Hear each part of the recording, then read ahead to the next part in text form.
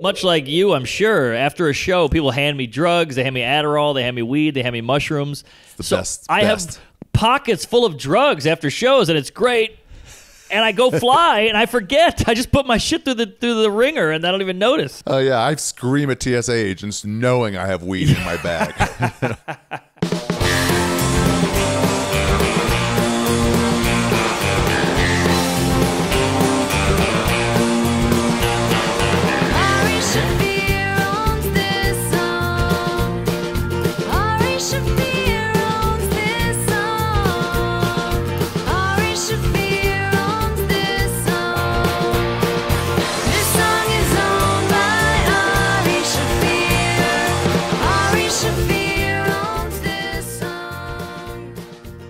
Hello, everybody, and welcome to Ari Shaffir's Skeptic Tank podcast. My name is Ari Shaffir, uh, coming to you live from Quito, Ecuador, to tell you about this episode. It's episode number 420, and I think, and I think you know what that's going to mean. We're going to talk about weed. We're going to talk about marijuana. It's a celebration of all things pot. That's right. So I don't know if you know this, but 420, I saw the number coming. I was like, oh, episode 420, I got to do something weed related. I got to do something. 420 first became associated uh, with marijuana back in the 1920s, the early 1920s, um, in Tulsa, Oklahoma. A group of 420 uh, white nationalists march into a black town on April 20th and they said, "We're here to kill you. We're here to kill all of you." And the black people, like, they met up in their church, and they said, um, you know, in between song, they're very Baptist and very fun. They said, "What are we going to do?" And one of them was like, "Well, should we fight back?" And they were like, "Nah, it's not so acceptable these days to fight with white people." So uh, one of them was like, "Well, why don't we smoke them out?" And everyone got quiet. Like, "What do you mean?" Like, let's give them our best shit. So that's what they did. They rolled blunts. They rolled the bless, best blunts you could find in 1920, and they gave 420 of them out to all the KKK members. And those KKK members were like, this ain't going to stop us. But as they smoked, and you know what it did? It didn't change their mind. It made them forget what they were even doing there. And they went home. That's right. So from then on, 420 became a sign of peace and marijuana. Um, so here's what I did today. I got a bunch of my friends, uh, and I got them just to talk about weed. That's it. Why not? Oh, by the way, today's episode is brought to you by Tightpac. Type Pack. It's for when you want to smoke and you need to hold it somehow. They're available uh, in these big cases. You can see this on YouTube if you're watching on youtube.com slash Ari Shaffir. Or these small cases, Tightpac. Um, not in there. But, you know, this is a single. So just roll a joint and it's fucking. Nope. Gone. I thought I had one in there. Hey! I did. But today we're smoking a new joint. We're not going to do an old one. Just going to go back in there. I had one of these, by the way. Me and Rannazzisi. Um, we're going to Yankee Stadium, the new Yankee Stadium for the first time. We're smoking out. It was one. It was so they have a single tightpac. They have a, like a double, which holds two to three joints, and they have this, which holds five. This is your fucking festival shit right here. By the way, tightpac is not uh, paying me for this, but I will tell you, it's T I C H uh, G H T P A C. Uh, you can get them on Amazon, or you can get them at some dispensaries. They're great. Um, so I was closing one. Let's say it's like this. It was bright green, and uh, we are smoking away from Yankee Stadium. And then some dude on a bike comes up, and he goes, uh, "Hey, be careful! There's a cop up there around that parking structure." We're like, "All right, let's have a couple more hits, then we'll stop." Smoked one, put it away. So it's like this. Oh shit! These things also really fucking protect you in when it's cold or rainy.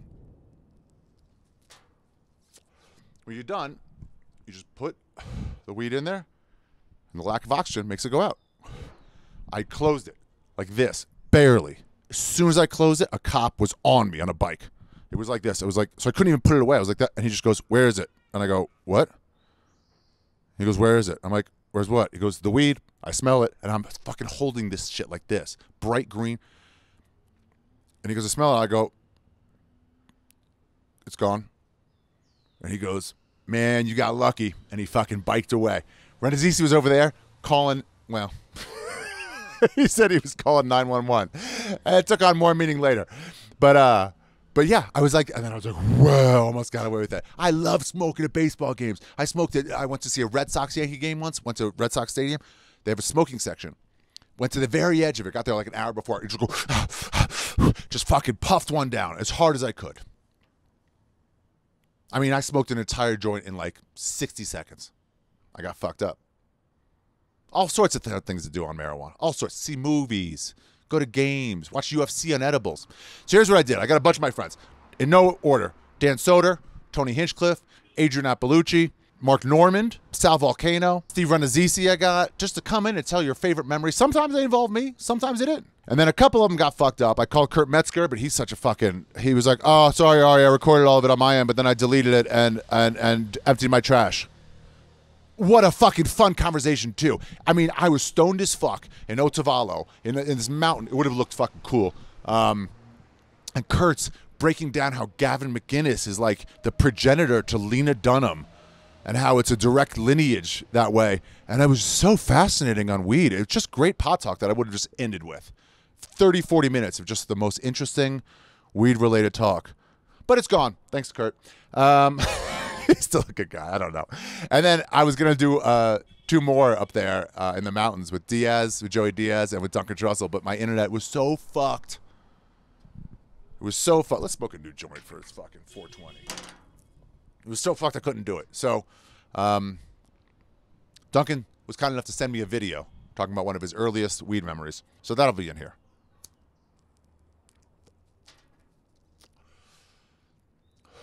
I hope you guys listen to this at 420. Or I hope you listen to it starting at 3 and right at 420 you light up. So it's a fun celebration, you guys. It's all things weed. I remember when I first started smoking. I mean, I first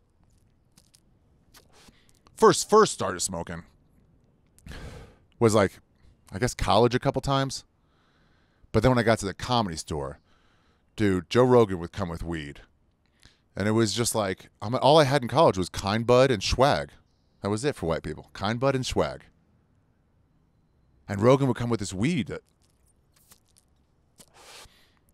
that wealth and, and lack of caring could provide.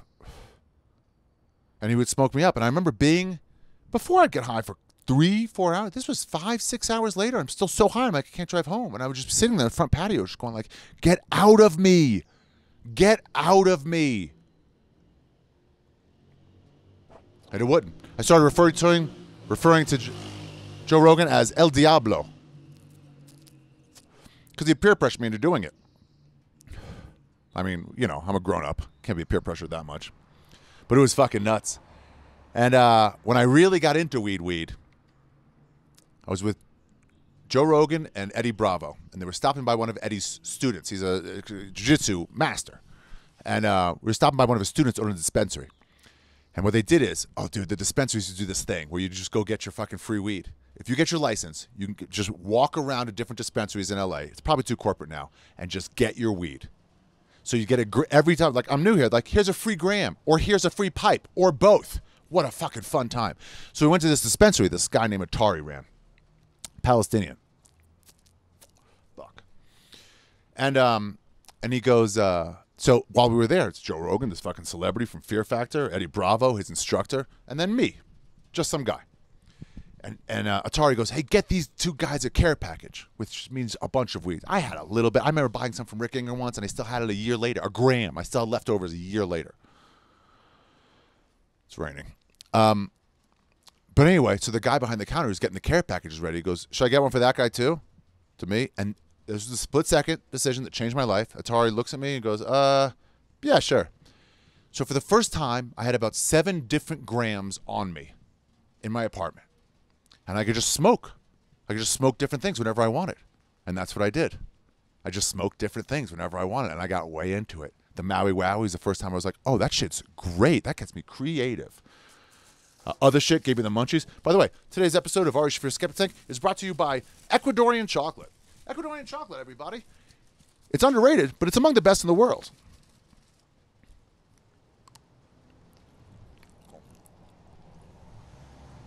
Fuck, that's good. Oh, that pineapple one's good. Oh. Maracuya and Minta. So, ladies and gentlemen, let's start the episode. We're going to go all the way around. We got tons of weed related sponsors today. And uh, if you don't mind, I'm going to interrupt as the podcast goes. It's a new thing where I'm not going to take breaks all the time in the middle of my intro. Instead, I'll just drop them in here or there. So, uh, try to roll with them as best you can. So, ladies and gentlemen, let's start the fucking episode. It's a celebration of all things weed. I would love if you, in your comments, would leave favorite weed stories for yourself. Maybe the first time you got too high, the first time somebody fucking dosed you with too strong a weed. Redban used to do that to me all the time. Couldn't even drive home. I'd fall asleep in the car on the way home at a red light. Safety first. But still fall asleep in the car. So leave your best weed stories in the comment section of YouTube. And on April 20th, I'll do a Patreon and I'll read some of the best comments you guys leave in honor of marijuana on the April 20th Patreon. Patreon.com slash Ari Shaffir. I'm doing good stuff over there. It's my wandering Jew plant I picked in the Amazon, and I'm going to try to get home. It's been tough. Um, so, ladies and gentlemen,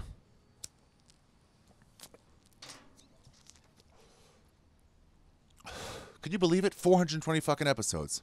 Also, definitely sign up for my Patreon. Patreon.com slash Ari Shaffir. Let's see if I can French inhale. In the outro, we'll see if I can French inhale. Ladies and gentlemen, Ari Shaffir Skeptic, episode 420. Fuck.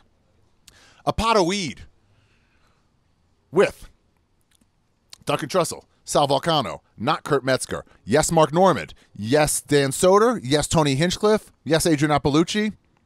Steve Rannazzisi, Sal Vulcano, Duncan, Normand, Mark, Nor- Adrienne, Tony, Soder. I don't know.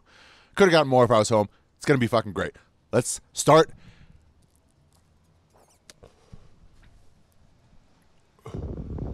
The episode. Skeptic, skeptic, skeptic. I'm just gonna listen to you and not and not have videos. Is that okay? Yeah, I don't care. Oh, we're actually smoking four. okay, I've already done three of these and haven't smoked at all.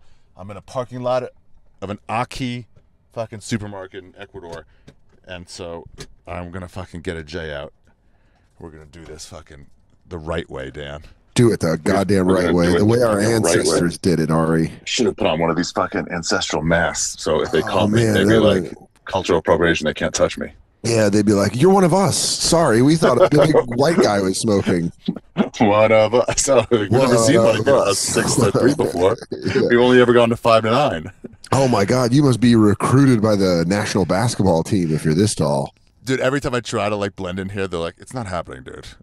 You're bald. None of us are bald. You're fucking way high." Dude, that was always when I got really into reading about uh, Native American history. The thing I found the most fascinating was that Native Americans don't uh, have the gene for baldness. So the first time they saw male baldness was when the white man came west.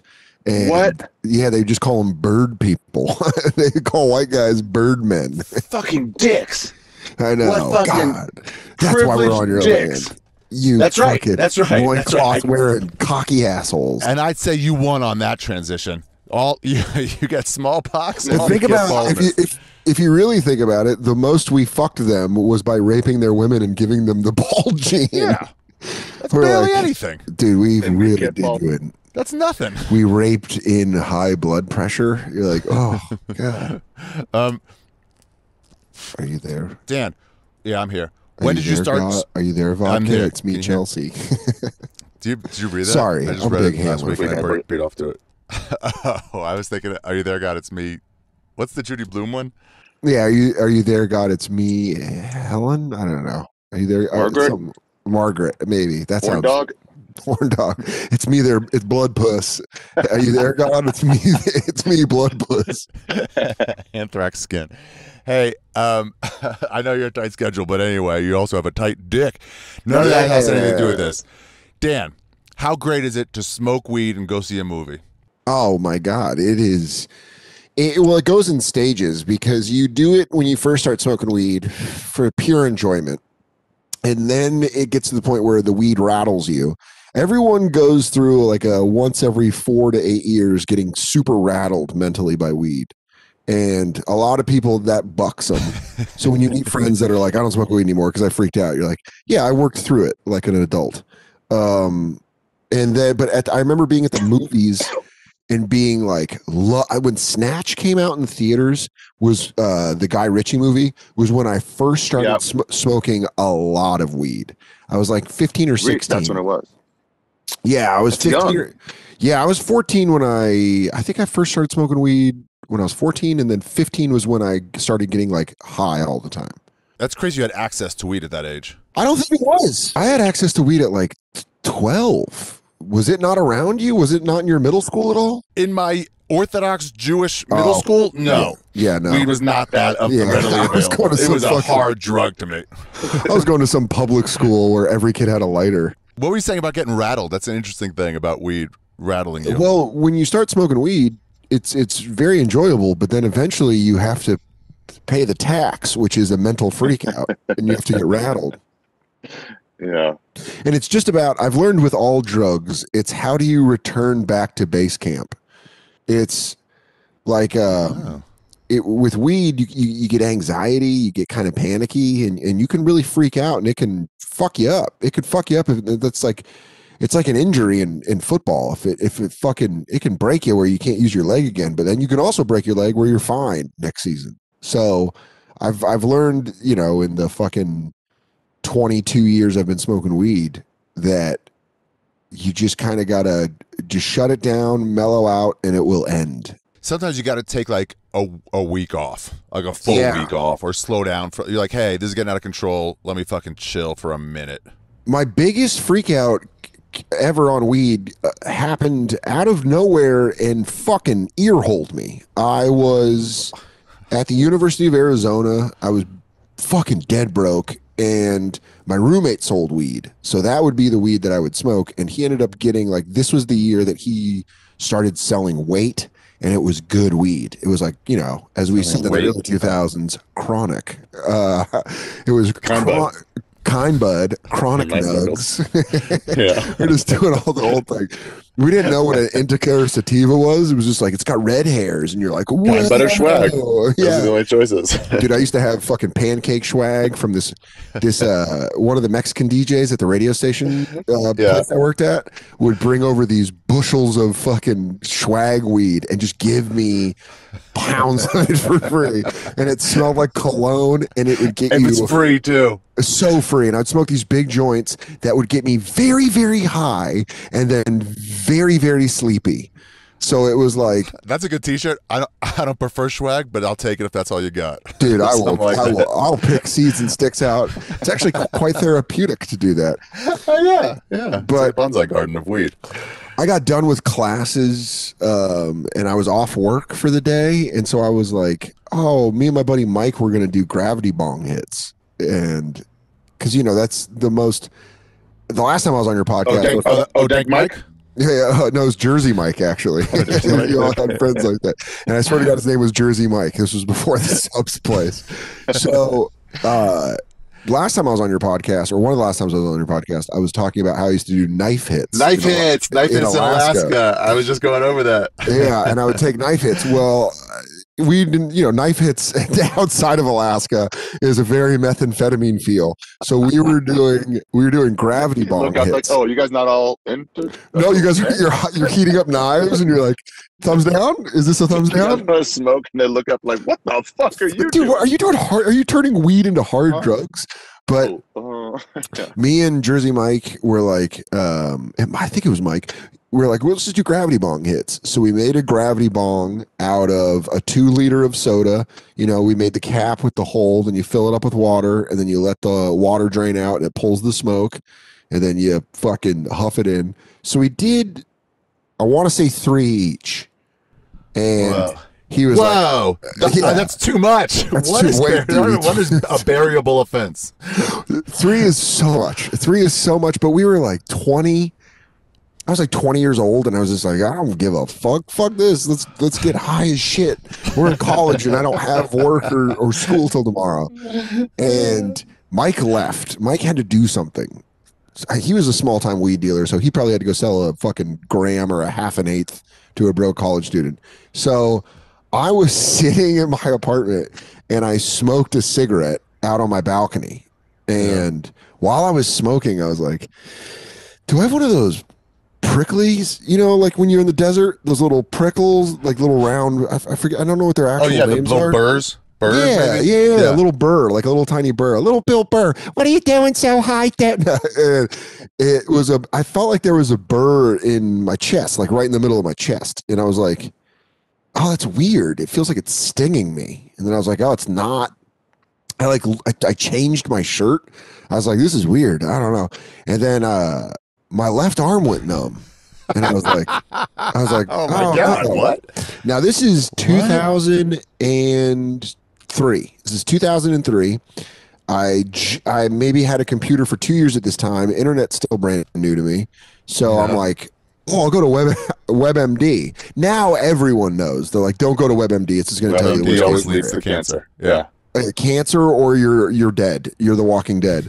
And so I typed in chest pain, left arm numb. Oh, that's Yeah. Keith Robinson.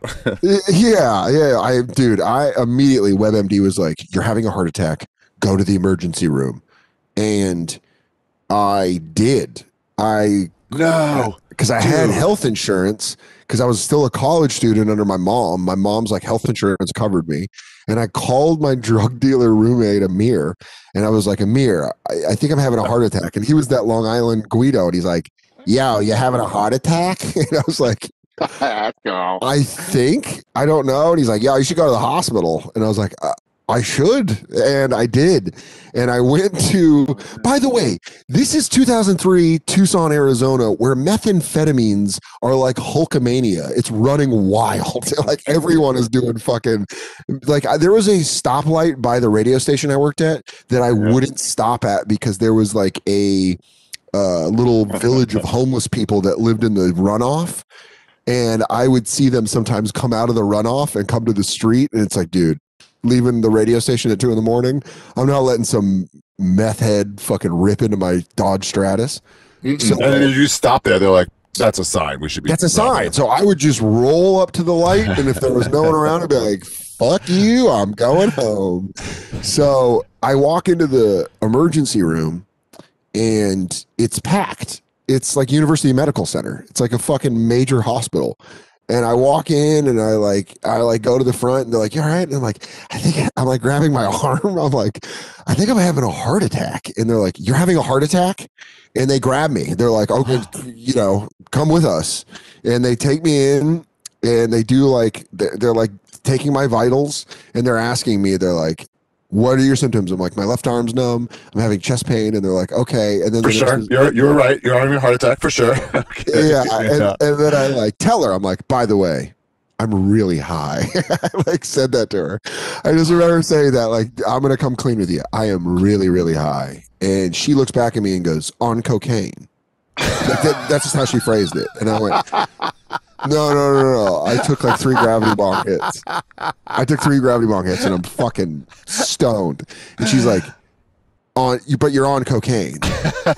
and finally, I'm like, no, no. Why are you doing this? And she's like, okay, like you're high on marijuana. Uh, let's see. So they give me an EKG machine. They give me an X-ray. yeah. They do everything, and I'm going like the biggest weed freak out I've ever had. Oh, plus if they don't take your word for it when you're like, I'm high, then they're like, nah, it's got to be something else. And you're already Yeah, paranoid. and, and I'm already paranoid, and I'm already fucking spiraling. So I'm like, Fuck. They're not listening to me. I'm gonna die while I'm hooked up to this because they left me alone, and I was just like, oh my god, oh my god, and like people are walking by. I'm like, is this how I die? Do I die at 20 years old? And I'm like making all of these promises. I'm like, I'm not gonna get high ever again. I'm never gonna smoke cigarettes again. I'm gonna, run. I'm gonna run every morning, and I'm gonna fucking eat healthy and stop drinking soda. And they come back in and they're like, Mr. Soder, you blew a muscle in your sternum from coughing. They're like, that's Really? Yeah, that's all it was. was I tore a muscle in my sternum. Wow. Because during those gravity bong hits, I was like, ah! you, know, you, take, you know you take gravity bong hits and you're like, ah, I was just fucking hawking up a lung. Yeah. Oh yeah, you can't stop. Yeah, dude. It was like the ones where you're wheezing at the end, where you're like, Oh my god. like a dry heave yeah, absolutely. And I and then, like, like, by the way, while we took you, someone actually did die because we. Yeah, uh, a guy got figured you were stabbed in the neck by a meth head, and we were busy dealing with your He lost his fucking pussy Cool. ass. So, I just remember that them being like, "Your lung capacity's fine. You're." you, you blew a muscle in your sternum, and I left the emergency room and just started smoking a cigarette. I just lit up a Camel Light on the walk Just to to my buddy because I drove. I drove to the hospital, so I was like, I oh, knew Oh, where I my parked, and I was like, dude, I'm. I just remember pulling out that pack and being like, listen, man, that's when I thought I was having a heart attack. Fucking different. right immediately, like fuck you, God. Yeah, dude. I didn't I need to home- make that deal. And I went home and smoked a bowl and like got drunk. It was just fuck. That was a mess. That was a fucking mess. But that moment, I was like, I'm so sorry. I'm so sorry for everything. that's that's. I mean, that's the point where you should be like, all right, let me take a week off. Yeah, yeah, yeah. But yeah. no. Whenever I used to take weeks off when I would visit my grandmother because I'd feel bad about getting high. Yeah. And th- the first time I would get high after a week or more, I would feel a lot of anxiety. Like I shouldn't Really? be doing like I was doing so well. I didn't need weed. Why do I need weed? And then by the second time I'm like, oh yeah, weed rules. it just chills you out. You're like, I shouldn't be, but what did I? What was I not should be doing again? I lived with Vecchi I lived with Vecchione for fucking ten years. And Yeah. he's like, You're a person that needs to smoke weed. He just says that all the time. He's like, You're a person where when you're not high, you're Yeah. too energetic and defensive. And that's a bad Really? combination. Dude, I get to say, to say every time I, people are like, "You're high, aren't you?" I'm like, "I'm actually not." They only guess when I'm not high. Probably same as you, energetic and defensive, like a fucking pothead. I get super defensive and I'm like energetic and I'm running around. We're like, yeah. And then if I get high, they're like, oh, there he is. And I'm like, hey, sometimes I'll freak out about stuff. gotta But good.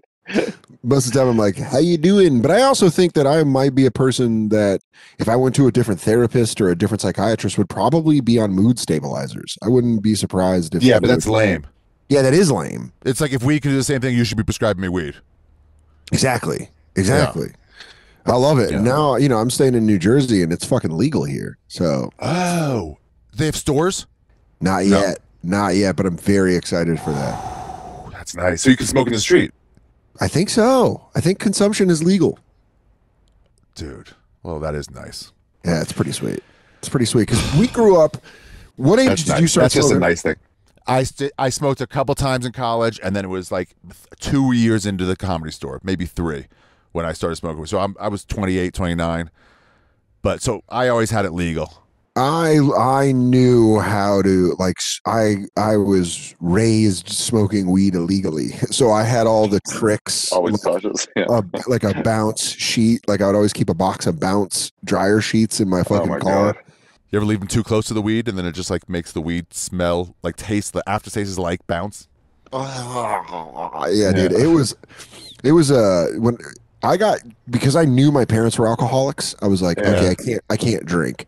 But then I got really into weed when I was in high school, where it's like shotguns, blunts, like all that. Like I built, we built our long. Yeah, dude. I was smoking like. I would work in high school to buy eighths. I'd be like, all right, I got 50 bucks. I can go buy an eighth. Whoa, yeah, you couldn't even have the money. How'd you have the money? For? I didn't have the money when I was like a three-year comic. I had a, I had a money in high job. school? I had a job in high school, and also our At buddy. no cost.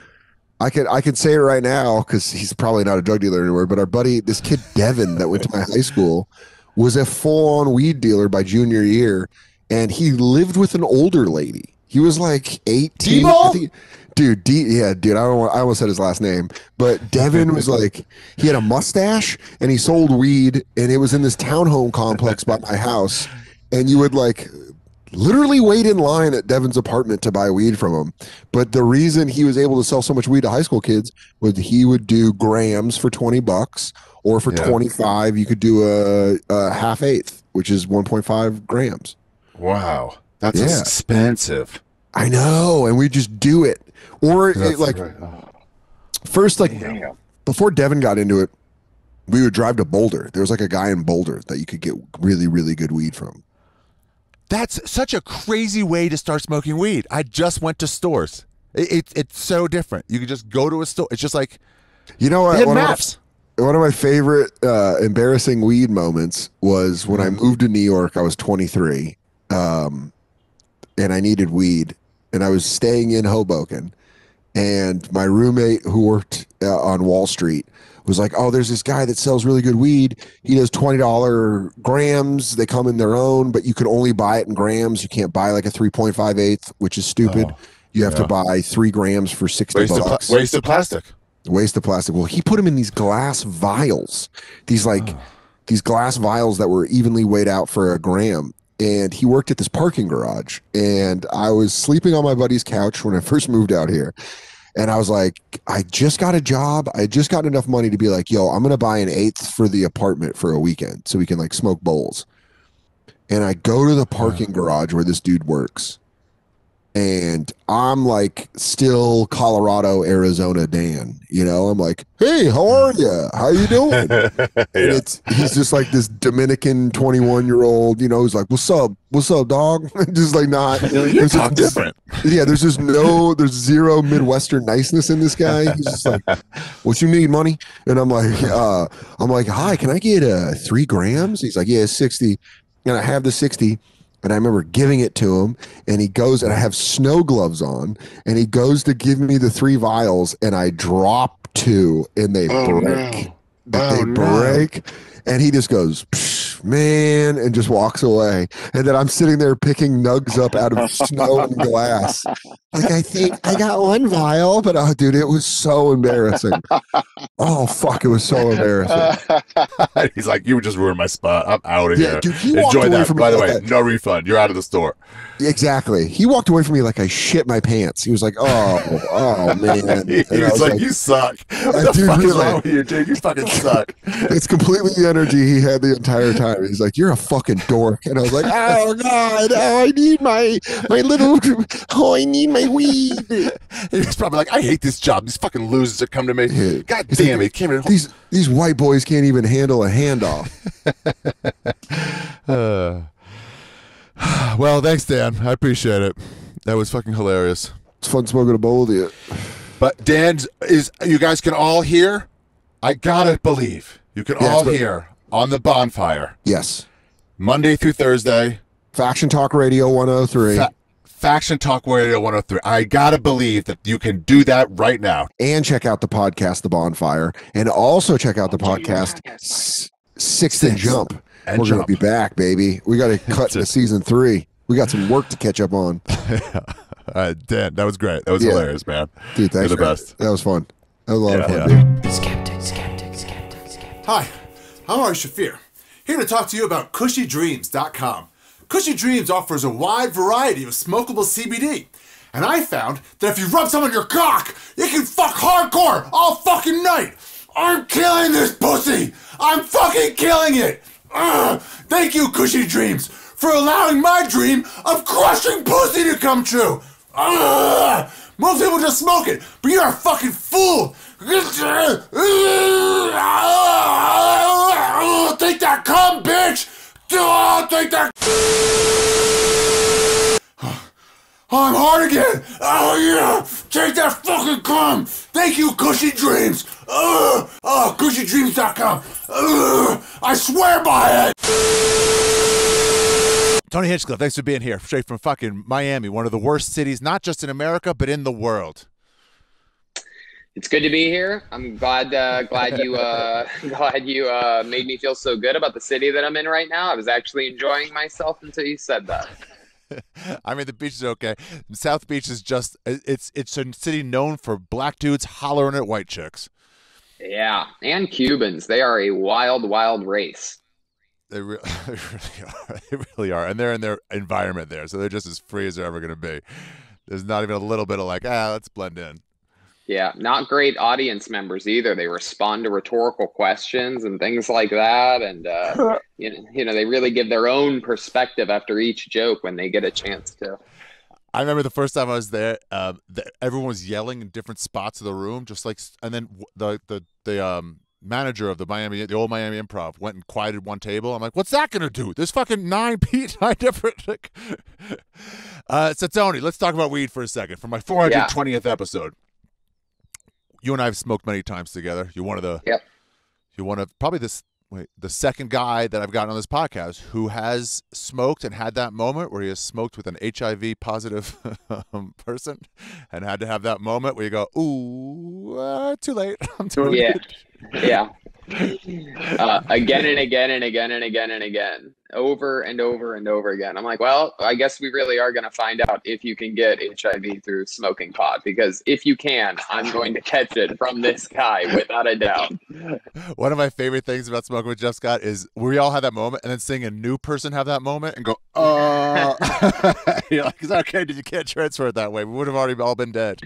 yeah, I've seen some. Uh, I've seen some like uh, very famous comedians. Uh, You know, they would pass them a joint or a bowl or something like that, and I know for a fact some of these comedians, and I don't want to name names because I don't want to make them seem ignorant or whatever, but like. You know, I know for a fact they probably wouldn't have passed it to him if they knew he had HIV.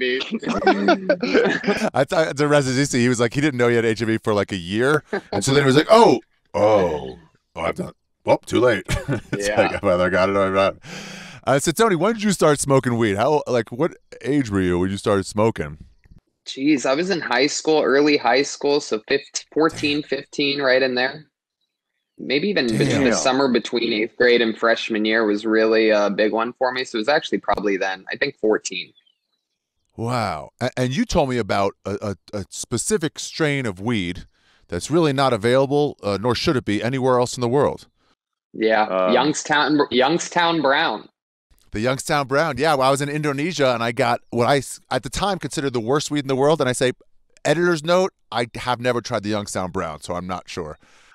Well, there is a catch with the Youngstown Brown. It looks like shit. There's seeds everywhere, but for some unexplainable reason, it gets you a type of high that is just crazy. And it's just like funny high. It's not like relaxing high. You have to be around people and there has to be, you know, like laughs going on. It's it is a specific type of sharp sativa-ish weed, if that makes sense. Yeah, it does. And and that actually reminds me of something. Maybe we should talk about just for a minute. It's like the different when you get a new guy who hasn't smoked pot and they're like, I don't like weed, and everybody goes, Well, what kind of weed have you smoked? Have you tried sativa? Have you tried indica? And they all really do different things. My favorite of the giggle weed is is Pete's OG Kush. Yep. Yep. It is the very best. And yeah, I've been looking for that since moving to Texas. What is the uh, selection like in Texas? It can't be like L.A. where you get to decide what you want. No, it sucks. It's not that great. It's like the guy sends me a menu every like, I don't know. I guess I need a new ounce like every two or three weeks or something like that. Menu's what you want. Yeah, there's four or five different kinds. This is a no brainer. I'll take the best one. I'll take the most expensive one. And so I got an ounce of that, and it was just okay. Like it was just enough No. weed to. Yeah, I mean, it's just. I guess it's good. How much? Uh, how much did it cost? Yeah. yeah. I think it was like uh, two thirty or two forty or something like that. for an ounce. Oh, All right, that's that's not not bad. Yeah, but the point is, is like I got the best kind, and it was like the if I got it in LA, I would have like sent it back. You would have returned it. That's one of the coolest things about dispensaries in LA. They really are. You're like, hey man, this is come on, no, I'm a loyal customer. And this isn't doing it, and they will be like, okay, give back what you have. I was kidding. I've never actually done that, but you're Jewish, so you obviously like didn't get I, of course I I have. Of course I have. you call that 27%? Come on, dude. And they're like, all right, all right, all right. Here's some uh, two free grams for your troubles, and uh, and, and we'll get you something else for, in place, place of of this. It's wild in te- in Texas. It's like starting all over again. It's so bizarre. It's literally like being in between California and Ohio. It really Damn. is. Weed weed wise and geographically. It's Austin though, right? It's not like fucking El Paso or something. I know, but I don't think they're getting the the right shipments, man. I just don't. I don't know. I think things will probably maybe when uh, maybe when our buddy Pete gets his uh, gets his stuff going, maybe things will change. Maybe he'll swing the market to a better uh, quality. Hopefully, hopefully you got to catch up. If that if that's around, then everyone else will have to up their game. The what I, one cool thing about weed is the tolerance will adjust to the weed you're getting. Yeah, that's true. For Yeah, I mean, example, I I Mhm. know that for a fact because I've been smoking this Texas weed for uh, a couple months now, and uh, a friend just sold us a uh, a weed vape pen. We got a weed vape pen. We hit it. We got high as fuck, and so I bought a weed vape pen, and uh, this thing gets me stoned to the gills, like almost like a dangerously, dangerously uh, calm, relaxed type of high, to where I'm all, pretty much lazy as shit when I'm smoking it. But it's at least hitting me.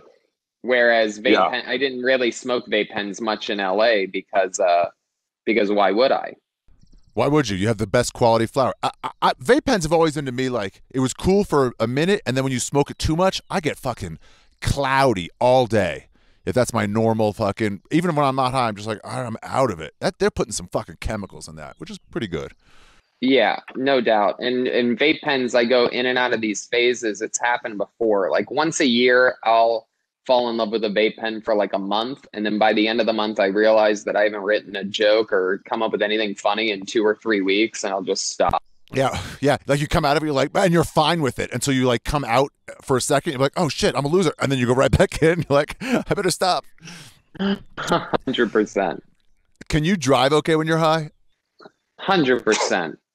Hundred percent. I drove from uh, L- L.A. to Austin, and I was stoned the whole time. I mean, a crazy amount of high. And I can it would, it would have been such a miserable drive without it, but instead it was so much fun. It makes the boring, you know, it makes boring views beautiful. You're like, wow, Dude, that's look the at best. that mountain That's, over there. that's the best thing about the the traffic in LA. It's just like everybody's got multiple types of weed in their car. So when you hit traffic, you're like, whatever, radio's on. Hell yeah. Music's Yeah. playing, music's better, the view's better, the weather's better, everything Oh, feels yeah. nice. That must have been gorgeous driving through through America with with fucking you. You drove. That's great with fucking high as shit, listening to tunes. That's it. The sound system in my car was love is lovely. So I mean, I had everything I needed. It was actually quite quite fun, quite enjoyable. Dude, when I uh, when I moved to California, I drove from Maryland, and uh, I I met my friend who used to live in Maryland, then he was living in Florida, um, right where you are now, and um, and we met like in Nashville. We each took a car. He got I didn't get high back then. He got super fucking stoned the whole way and drove the speed limit, and I drove you know 15 miles over the speed limit, and then I'd find a place and he'd catch up, um, to stop for the night. So I was ahead of him when you get into California over those mountains, and you just come into California and they were stopping every car to look for fruits and vegetables. and I was like, called them as soon as I got through there. I'm like, "Eh, dude, open up your fucking windows right now. you are going straight to cops. And he was like, afterwards, he's like, dude, thank you for that call. I was fucked. They stopped you fucking eight feet out. Wow, that is Yeah. hilarious. Yeah. Yeah. I'm always scared pulling up to those things. They have, you know, they have those little immigration checkpoints on the way here, coming through El Paso and all that. But I'm so white, you know. It's such Yeah, a- you just like, yeah. you just show your face. They're like, yeah, yeah, go Yeah. ahead. You're fine. Do, do a, do a weird, do an extra extra white thing, like wave with my hands side to side. You know what I mean? Like, hello, just me, just a white guy. All blue lives matter. Yeah. Uh. so they, I, I waved so they could see the whitest part of my hand. That's right. Uh, are there? Can you? How's your stand-up high? Uh, it's the it's the usual. I mean, that's that's normally how I uh, I do it. I don't get too high before. I mean, obviously I have, but uh, I like to take like a couple hits, and you know that's another thing. Going back to Jeff Scott, it's like, you know, that was part of the routine back back in the day. Couple it was like take two or three hits, maybe. I mean, I would go out oftentimes in the back alleyway, and when I say often, I actually mean like all the time, like one hundred percent of the time. I would go to the back alleyway. Nothing I mentioned. Yeah. And even if there's 40 people out there in the in sacred ground, I would light up a joint. I would take two or three hits to myself. I'd put it out and then I'd leave. And people, I could tell people sometimes people would be like, "Hey, why uh you're not gonna pass that thing?" And I'm like, "No, I'm not gonna pass I it." don't know any of you. I don't know any of you. Why are any of you here? Yeah, yeah, exactly. And then after my set, I would go back and I'd smoke the rest of it with Jeff or just smoke with Jeff and you know, How um how frustrating is this? Because you remember the days of smoking in other parts of the comedy store that when they got corporate, they eventually shut down. Which I, the way Edgar says it, he goes, "Ari, it was already ruined. There were too many people we didn't know in there." But yeah. What is that feeling when you walk back to Sacred Ground? Because it's one exit, one same exit and entrance, and you go out. You can't really see who's there until you take three steps out there, and you look around, and you don't know anybody, or they're all fucking chuds, and you're like, "Fuck! I either got to tell these people I don't want to talk to them by leaving, uh, or I, what do you do?" In the beginning, you know, when it first started, I would be nice. You know what I mean? I wanted them to enjoy the back alleyways, sort of like how I did when I first found it. But uh, but tor- but towards the end there, I mean, it was just chaos. Roast battle on Tuesdays and even Kill Tony on Mondays.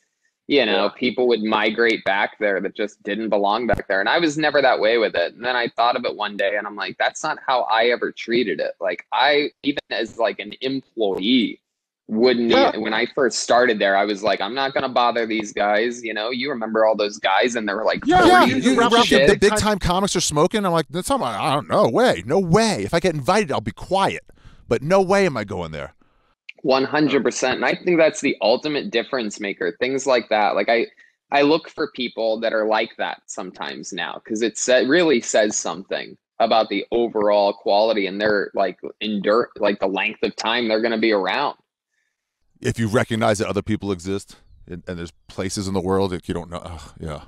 Right. There's there's nothing more, more annoying than someone trying to network in stand-up comedy. The only thing more annoying than that is when they're trying to network while you're getting stoned.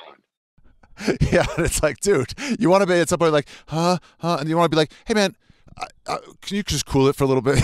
like, like, it's just like, god damn. Yeah, this is doing the opposite effect of what you're hoping it's going to do. I'm, I'm starting to not like you because Yeah, dude. I yelled at someone at the cellar. It was some new comic, and he came in. He was like drunk, and he was like, "Oh, hey, what's can I talk to you for a minute?" I was like, "Okay."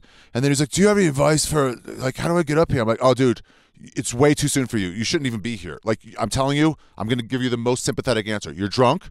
You shouldn't be here. You're making a first impression. You should get out of here." And he goes, "Okay." I'm like, "I'm telling you, man, for real." And then he started to leave and comes back, and then he was, and I always told him again, I was like, "Dude, you gotta get the fuck out of here." I saw him bothering other people, and then I'm like, "Get out of here!" And then somebody was like, "Can I just get advice?" I'm like, "I'm giving you advice. Get the fuck out of here." I'm telling you, you're ruining it for yourself. In ten years, you're gonna be embarrassed about this. Yep. 100%. No doubt about it.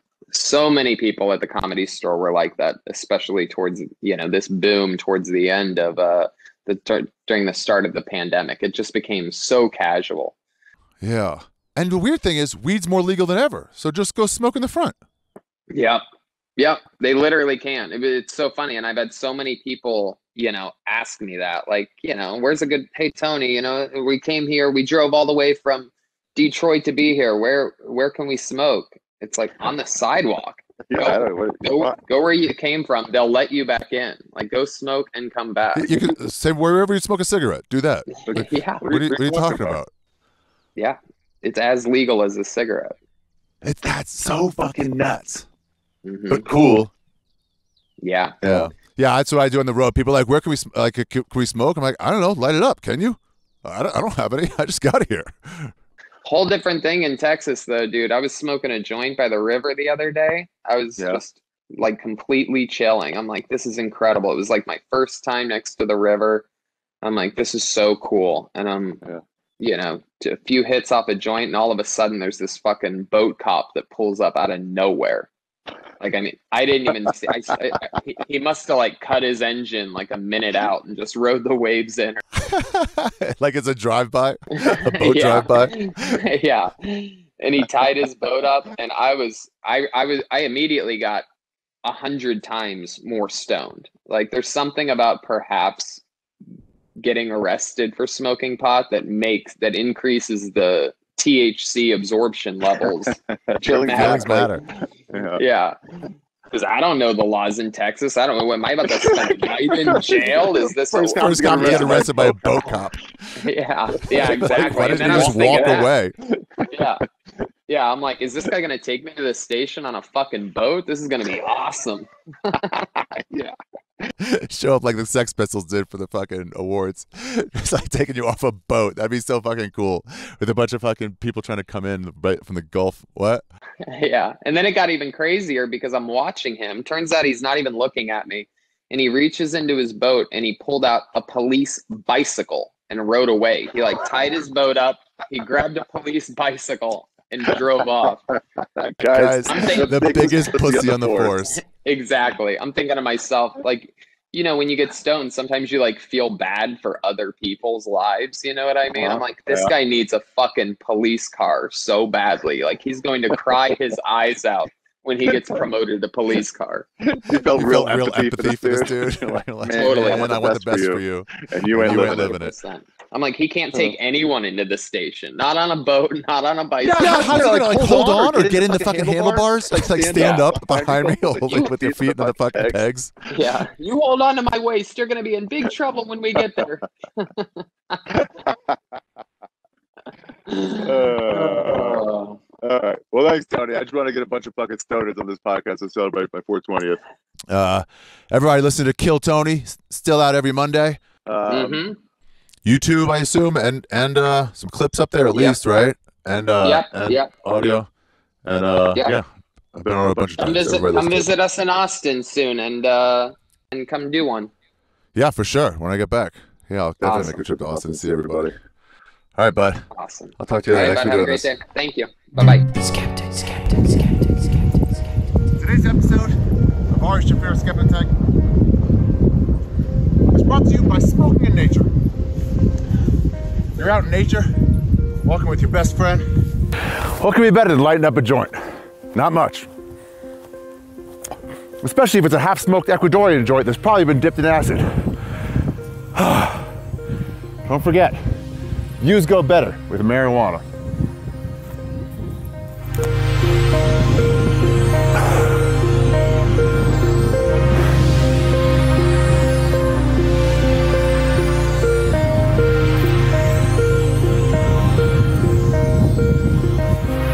Back to the episode.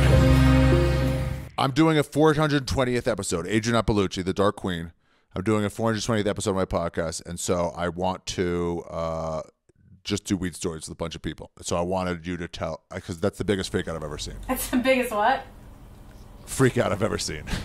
I've never seen somebody get that paranoid. Well, I normally nuts. I normally don't really smoke pot. So I've only smoked pot probably with you a couple of times since I was like 20. Wow. Yeah, I was surprised you let me get you high too. The first I was like, kind of, you're like, all right. Well, I think I started slow and we were having such like I remember we were in Austin when we were doing it, right? And we were having so much fun. I just remember sitting at the table we were laughing so much and then like the third Yeah. day I think we just smoked a lot more. And you were like shape shifting before my eyes in that restaurant. And that's where I got What at the diner? Yeah, the diner we were at, and you were you were asking me questions where I thought you were trying to trick me into stuff to use against me later. Like you would ask me which comics I wanted to die, and then No, I okay, yes, but I didn't say die. It was first of all, it's just a topic of conversation. I know, but like if we were Who- talking who right should- now, I could answer that. But back then, I just kept saying everything I say, he's going to remember this and use it against me. So I get that now, but like high, I could not understand that. High went into conspiracy theories, and it was crazy. Okay, but also for the record, it wasn't just who could die. It was also who could would just be deleted, like never had existed. But you also asked me who's like sh- who's like shows I don't like or acts, and I, it just felt like you were trying to catch me to, to like say stuff about comics, trying and to then talk shit with later, yeah, then later you were gonna just be like, you'll never guess what Adrienne said about you. That's what I thought you were doing. So I was like, this seems this, uh, and like you, that's just your nature, though. It sort of is. Uh, Can I just tell you something you reminded me of? When I was in yeshiva in, in Israel, in seminary, me and my friend David and she went to other people's dorms and got them to talk shit about their roommates. And we and we had a hidden uh, tape recorder in our pockets. Yeah, I mean, Yeah, it is awful. seemed like you were trying to get me to just say stuff about people I didn't like and people I comics I wish would die, and then like you were just gonna go tell them all. Yeah. So then, what was your reaction to that? You So like, my "Let's get outta reaction to that was like, okay, so Ari, I, I just thought if you were willing to do that, you might also just be. I, then I thought you were trying to do that, but only to take away from the fact that you were going to kill me. I don't know. I looked at you at one point during during the meal, and I remember thinking, Ari's going to fucking murder me. And, I was, and then everything. What- So then everything kept lining up too. I was like, he has this this house. It was just a realization that I'm gonna murder you? pit. He could actually kill me. Like it just everything just seemed to line up. It did have a backyard. Why fire pit to It burn the a body? backyard, Yes. I don't know, or I wasn't thinking rationally, but it's just a place you could definitely The- saw a body, a backyard. You're not gonna do that in a hotel. I, I just I just remember. I don't know. Then I, I don't know you what made you start thinking of that. I, I don't know. I think. Uh, yeah, you got me on a loop of logic where I'm like, I'm not going to kill you, and you're like, but of course you would say that if you were going to kill me, and it, it just, I've, I couldn't at that point disagree. I'm like, yeah, of course I would say that if I was going to kill you, but I'm not. Okay, so let's get back to this because here's what I understand. Once you said like you're going to kill me, and I'm like, I'm not. I made a wrong turn and then had to go around, and you look like you fucking. It was over. I just remember we were going back. First of all, I don't even know exactly the road home. I just knew it looked more secluded, and we passed a hotel, and I was like, "That's where you're gonna kill me."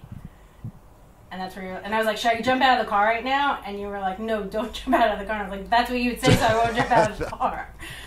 yeah, I'm like, yeah, but that I, kill you or not, I would definitely say don't jump out of the car. That's that's that's crazy, but that would probably be your only chance of surviving it. You would have to get I know, and then you even said like because you're on the spectrum that you couldn't even say to me like, "Adrienne, I'm not going to do that." You were like, "Well, I guess that does make sense." If I was, It if I was it lined to up. kill you, You would see through it if I said no. So, and then the night just got weirder and weirder. And then we were sitting back at the table and we were talking for a while, and I would just like look at you and freeze up and be like, "It's gonna happen now! Oh my god!" Because you would start to forget a little bit. Uh, yeah, like I guess I would. And then it would I hit guess you. I would forget that I thought you were gonna kill me for a bit, and then I would just have fun for a couple minutes, and then I'd go back to it, and I just like It, it was like you every time you you like you fi- suddenly figured it all out, Yes. and then your face would just drop. I think that was the last time I smoked, to be honest. this, uh, do your. I, I want to see your face of what you would do, and I'll do my face of what I thought you did. Every okay, I time. would just be like, "Oh no, this is it. This is what you're gonna do it. I know it. It's coming right now." This is all I would see. I wish you could see me, but I'll see what it's up. It was just you were like laughing about something else. You forgot for a minute about your troubles and how I'm going to kill you, and then you were like, "Oh, he's going to kill me." I was like, "Oh, and of course he would say that." So it would go like this. It would go, yeah, I think at one point though, didn't you think I was gonna kill you? Because you were like, "Hey, I'm gonna lock." Yeah, oh, I locked like, my door- I'm I locked gonna- my door that like, night. I'm locking my door. I'm gonna go to Yeah. sleep, and I was like, "Well, I'm not gonna come Yeah. near you."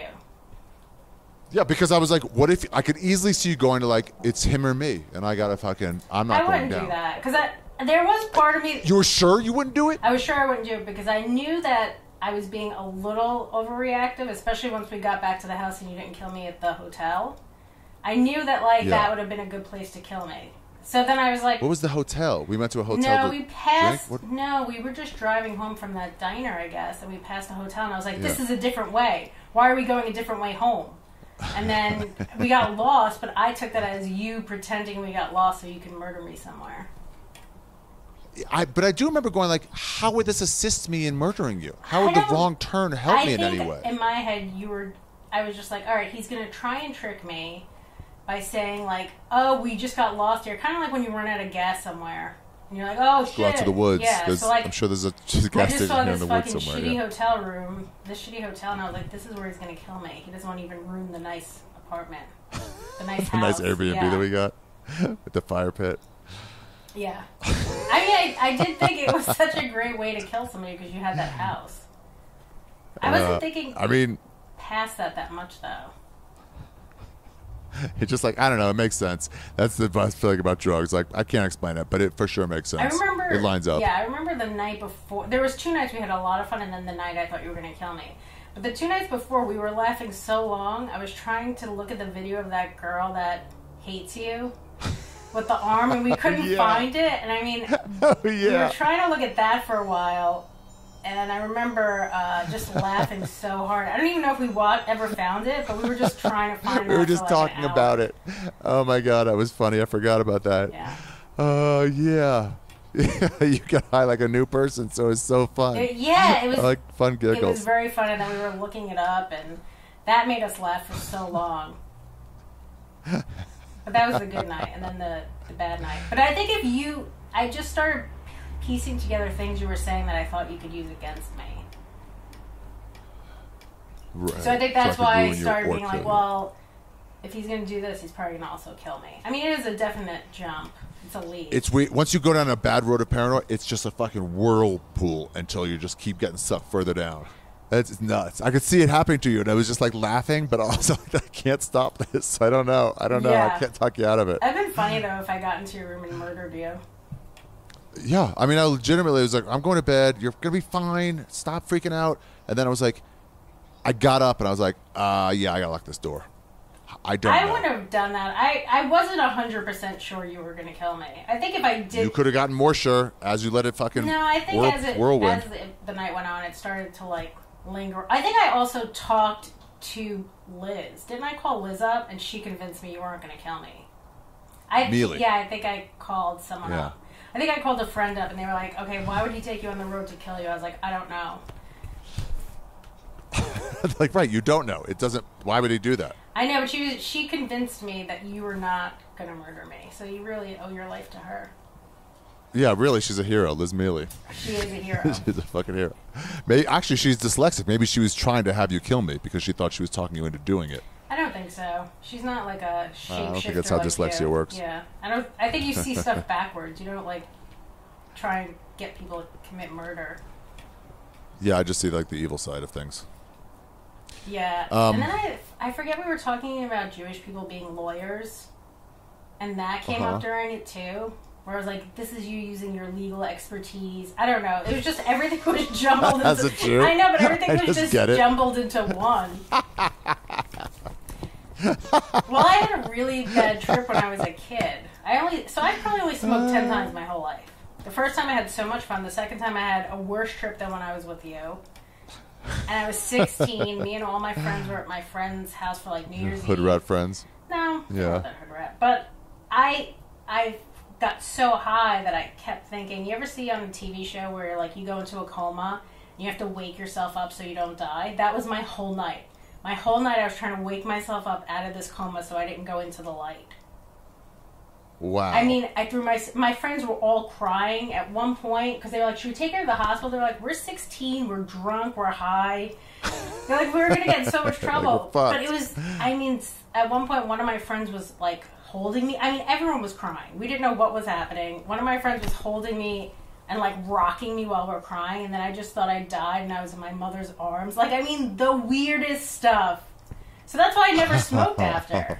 And then I, I'm surprised you let me smoke you out. You didn't. You were like, no. And you're like, no all right. well, I, I was like, I'm let me surprised with that as a history. I know. I, I guess I felt like we had so much fun for two nights, and then that third night we just went nuts. So it was like Yeah. that. When I was a kid, was way worse than that. I remember throwing myself in the shower and punching myself to wake myself out of this coma. It was- Wow. I thought I was swallowing my tongue. So yeah, I don't have Damn. a great relationship with pot. Yeah. Fun night though overall. Overall, it was a fun weekend. Some great yeah, it was a fun weekend. Yeah, they were really great that weekend. Uh, that place was great. It's coming back though. Um, yeah, Cap City's coming back. I'm pretty excited. We got to go back maybe next year. Hopefully, Um, Yeah. All right, Adrienne. Thanks, man. that was fun. Um, yeah, you can press stop, but let me talk to you for another two minutes. Okay. Oh, but let me just say this: Adrienne Iapalucci is fucking. You can hear her brand new album, "Baby Skeletons," on my YouTube account, fucking six weeks ago, and uh, or Spotify, or uh, or you can buy the album.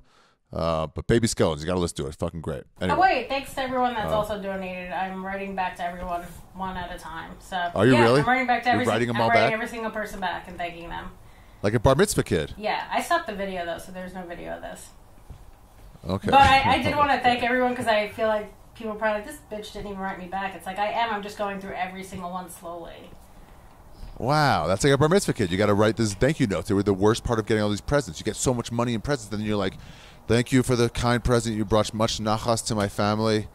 Um, you got to send those dumb things. That's great that you're doing that. I am, That's and if somebody writes something that is like personalized, I'll respond back to that. Like if somebody saw me open for you in Spokane or um, Charlotte or something, like I'll, I'll write them back and make personal. If somebody just writes like funny stuff, I can't write that much back to that. I'll be like, hey, you know, follow me Right. on YouTube or whatever.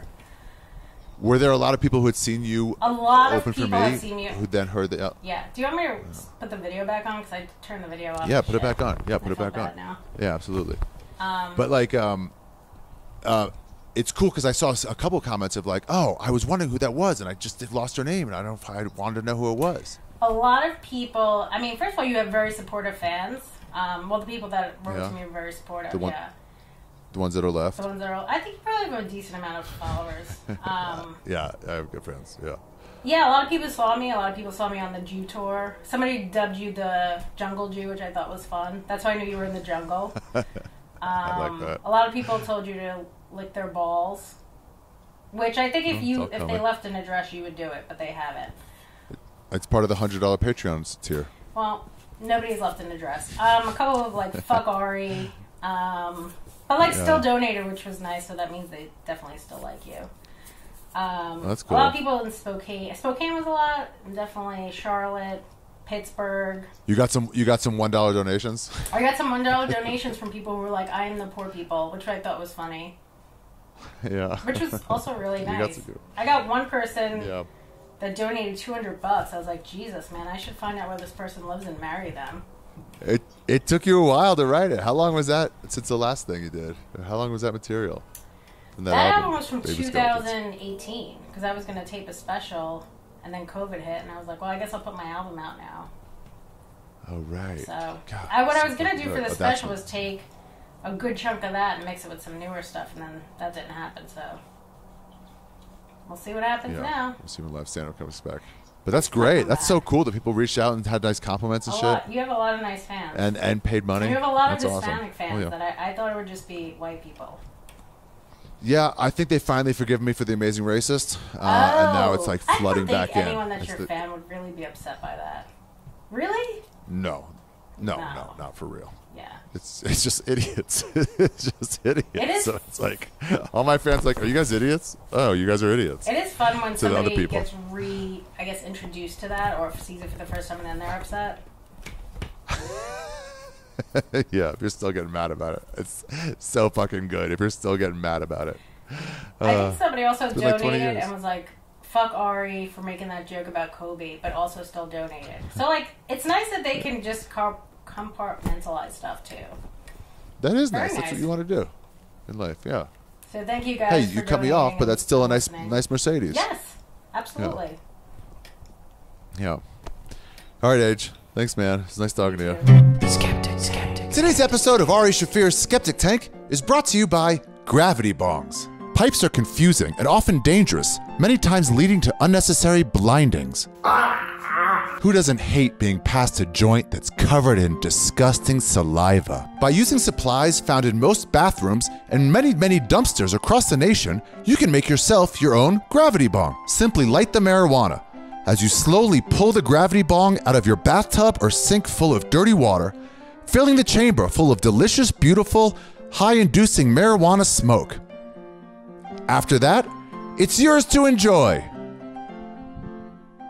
Gravity bongs. They're still big in central Washington state. Mark fucking Normand, who I have smoked weed with or not. Oh yeah, oh yeah, many times. I mean, we did We shrooms. have, right? We did shrooms together at uh at that ski trip in Utah. Oh yeah, you can't do shrooms without weed. Yeah, It's like the, the universal donor. It just goes perfect. yeah, Um, when did you, do you remember when you first started smoking?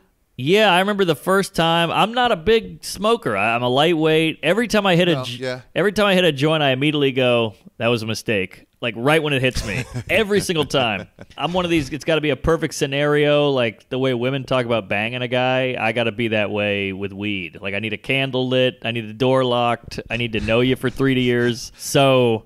Yeah, I'm not uh, not good with it, but I remember my first initial ever virgin hymen popping time.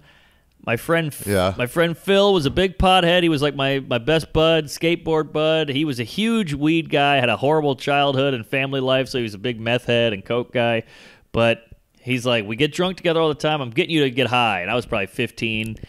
We drove into a parking lot. We were the only people in there. I s- 15. I smoked, and I was out of my mind for like nine hours. I couldn't sleep. It was hell. Dude, that first time it lasts so fucking long, and you are kind of a lightweight, not in a bad way, but you're usually like, i I'll have two hits, I'm good. Yeah. You guys keep smoking, uh, you know. You at least you know your place. It's like trying to keep up with alcohol with Bert. You're like, ah, you you keep drinking. I'm, I'm pretty drunk, but like uh, that first when you first start smoking, it just like won't leave you. Yeah, it was a nightmare. And you had to do that thing where you go back to your house and you creak up the stairs. Your mom's like, "You hungry?" You're like, "Ah!" You just run up the stairs. in, in ways you could never imagine. yeah, yeah. yeah. And then you just lay under the covers and have every horrible thought on the planet. Uh, what if I die? Uh, nobody likes me. I'm never gonna be anything. You're an idiot. You know. Oh, it's and I, I just go into myself and it's never good. It's never drunk. I'm having fun. I'm laughing. I'm, I'm I got you in a Yeah. headlock. This is the opposite. Is that what they mean by paranoia? When you start thinking like nobody likes me, Yeah. Oh yeah. all that stuff. All that. That's my number one. When. I heard about paranoia, I used to think that meant like people are coming to get me. Hmm. But then I realized, oh no, paranoia is just like having thoughts that like aren't real. I don't even know. Yeah. Yeah. Well, do you have? I mean, you've you've been smoking for so long that you you probably have worked out all the kinks. Like, if I'm high and there's a knock at the door or my buzzer goes off, oh, I'll I'll call the police. like Goodfellas when the helicopter's outside and he goes, "That's for me. That's for sure yeah, for me." I'm always looking up, looking Yeah. out the window, got the one blind going down. I, I can't handle it, and the phone rings. I'm like, ah, I'm in trouble. Who is it? You know, I, I can't even I can't even live. Dude, I remember I started drinking coffee, but I remember when I hated the taste of coffee, and and and there was finally a time when I realized that I was accepting of it. When someone at the ice house, a waitress, had these chocolate covered coffee beans, and she was like, "Have these?" I'm like, "No, I don't like coffee." And she goes, "No, you'll like this. It's chocolate covered coffee beans." And I was like, uh, "Okay," and I ate it, and I'm like, "Yeah, yeah, I don't like the taste of this." And then finally, it was like, "You guys think because you like it." I'm also going to like it, but I know myself. Right. What is it about those people who are like, I'm getting you high? You're gonna be well, it's it's everything. Everything's like that because my my my girl is like that. She's like, "You want to have a drink?" I'm like, "I'm good. I'm trying to cut back. I went on a bender," and she's like, "Well, I don't want to have a drink alone." And it's the same thing with weed. You don't want to be the one weirdo smoking and being high and baked in the corner while everybody else is, you know, chit chatting. But It just feels better. It's it's an insecurity. Yeah, that's what it is. It's also like uh, when when pill poppers are like, "You got to do a pill with me." Yeah. it's like just fucking do it, dude. Yeah. Um, do you remember before you started smoking what you thought of weed? Because I thought it was an, a drug, an evil drug. Yeah, well, also, yeah, we're we're a little we're all I'm you know my late thirties here, so weed used to be weed. You know, if you heard like, oh, this guy got popped for weed, you're like, oh, he's an addict, he's going to jail, he had narcotics. yeah, you know, that's nuts. Now there's weed stores next to cupcake shops. There's weed gummy bears. It's it's it's so uh, accessible now that like weed. I'm like, ah, weed. If my if I catch my kid smoking weed, I'm gonna go, oh, good, that's fine. I love that it's become way more legal, but the negative is it's lost its outlaw feel. Yeah, that's true. That's true. I remember during Katrina, the city was, you know, martial law. People are shooting each other. Everybody's going down Broadway on a canoe, and people are just smoking joints. And there was, even though the city was ruined, uh, people are dead. There was this weird freedom and like relief to just being able to smoke weed in in the South openly. Yeah, now it's just not illegal. Even people are like, "Oh, you better be careful," and so and so. I'm like, no, it's actually fully legal. Yeah, you don't have to be careful. This this is how you know weed isn't that bad. I travel all the time for comedy, and much like you, I'm sure after a show, people hand me drugs. They hand me Adderall. They hand me weed. They hand me mushrooms. the so best- I best. have pockets full of drugs after shows, and it's great. And I go fly, and I forget. I just put my shit through the through the ringer, and I don't even notice. Oh yeah, I scream at TSA agents knowing I have weed in my bag. I'm just like, it's like painting myself in a corner, but it doesn't matter. It's so E- not bad. Exactly. Then you get you get to you know Albuquerque. You're like, oh shit, I had an eighth of uh, kind bud in my my jacket pocket this whole time. Do you fly home with? I always fly home with it. I don't fly places with it, but I'll fly home with it Oh. to New York, not to LA. Always, and I, I, I even forget. Like I don't even think about it. It's not like, oh shit, I got that that eighth in my pocket. I just forget, and and I get to Newark, and I'm like, oh yeah, look at that sativa. Yeah, that's how little it matters now. Yeah, it's. Do you it's uh, when you can when you can control your levels, like you, when you do get that perfect like. Okay, I'll have one and a half hits, you know, whatever. You, uh, because sometimes it's way stronger than other times. But when you get that perfect level, like, how fun is weed? Yeah. the giggles and the That's true. Three beers in, maybe two cocktails in with that just the right amount of weed. It just pushes you over that edge and you're, you're so focused and high and loopy and you're not hitting the paranoia yet. That's that's a great moment. Dude, I was drinking at a, at a, a karaoke party and at the I think the Brass Monkey in Koreatown, and I was I got too drunk. This was a while ago, and I was like, I gotta go outside for some fresh air. And then I went out there, and I was like, while I'm out here, I may as well smoke a cigarette, which was just a mistake. It's the lack of fresh air, a cigarette. And then as soon as I smoked it, it was just like started throwing up. It's like sometimes cigarettes, uh, weed could do that too. But if you get a perfect one where you have like two, three beers, and then you're like, let me have a cigarette, it just cuts it a little higher, and then you get like, yeah, weed can do that too. Yeah, yeah, for sure. I mean, have you ever been? They say you can't OD on weed. You can't die from weed. That's what you hear a million times. But I feel like I've OD'd on weed. I didn't die, but I could have been hospitalized. Yeah, like the OD is not is not like you you won't die, Yeah. but you can still have an overdose. Yes, exactly. It's not the movie heroin foaming at the mouth thing with the stab to the needle. It's just like I was. I took a bunch of edibles because of the comedy store. I did the the, the Tripoli show, and they give you just a like a grab bag full of CBD pills, weed, Yeah. shake, whatever the hell it is, cookies. So I was I had a I had a big uh, pitch meeting in LA. That's what I was doing in LA. I was pitching, and it was the first time I'd ever come close to selling a TV show. I had a production company, but Lionsgate was behind it, and so they flew me out first class. They put me in this nice hotel, and I couldn't believe it. I was like, "Oh my god, this is incredible!" And I feel like a winner. Yeah, I might actually sell this thing. I've never been flown out before. That was all crazy. So I do this store, the show at the comedy store, but I tell Tripoli, I'm like, look, I can't smoke weed because I gotta, I gotta get some sleep. I got three pitches tomorrow. It's like a challenge to people. yeah, I got three pitches. I got Netflix. I got Amazon. I got Apple TV. This is, the, I'm in the big leagues, so I'll take some CBD because I can't sleep, but I know weed. He goes, oh yeah, there's a, there's a ton of, there's a vial of just CBD, and I go, great. I chug the whole thing, and I go to bed, turn the lights out. I try to be a good boy. It's probably midnight. By 1:30 a.m. I wake up and I feel like I'm vertical, like I'm laying in the bed vertically. the The room is spinning. I couldn't. The floor was like I looked over the down the bed. The floor was a million miles away. I mean, I was on the moon. It was a nightmare. I overdosed. I, I was looking in the mirror of the bathroom. I crawled into the bathroom. The mirror. I looked like you know uh, that monk painting where he's screaming. You know what is it, Van Gogh? And I, Yeah. I just hugged the, the leg of a chair for like six hours, and eventually the sun came up, and I called my my agent. I said I can't go to the pitch. He's like, "You're going to the pitch." I said I can't, and he he showed up at the hotel and he's shaking me. He's like, "You're going to this thing." I'm like, "Look at me, look at me, I can't," and I had to skip it. Oh no. I couldn't do it, man. I could I couldn't even stand. I couldn't literally couldn't stand up. It was too much. Dude, all the people who are like, I'm gonna fuck you up, I'm gonna get you high, they don't see the repercussions of fuck of what's Yes. gonna be. You're like, I didn't need this. Exactly. It was a nightmare. Oh, yeah. I mean, I, I wouldn't wish that on my worst enemy. It was hell on earth. Uh, I just couldn't. The room wouldn't stop moving. I couldn't stop having thoughts. I could. I would. I would have a thought about a thought about a thought. You get in these wormholes and. Oh, it, it, Oh yeah. it- oh, you're reminding me about early high, where so, yeah, you get down these worm, and you wish you could write it all down, but the thoughts are going so fucking fast Yes. from one thing to the next, and you're having these beautiful, amazing realizations, but it's just gone, instantly gone, while you're on to the next thing. Yeah, completely, completely. And you try, you can't grasp anything. It's it just keeps floating away. It's like fog. You try to grab it, and oh man, it was. It took like a day and a half to get back to normal. Sorry about the pitch, but that's so fucking funny. It was, it was looking back, it was hilarious. But my my agent was furious. And then like two weeks later, we rescheduled. I had to fly back out there, and then nobody bought it. Do you ever do you ever do clandestiny in Toronto? No, what's Uh, that? Comedy Underground. There's a pot room. Ah, maybe. Um, but speaking of ODs, yeah, it was great. It was in the back of a pipe shop. It closed down now. Sadly, Oh, I did do that. my favorite.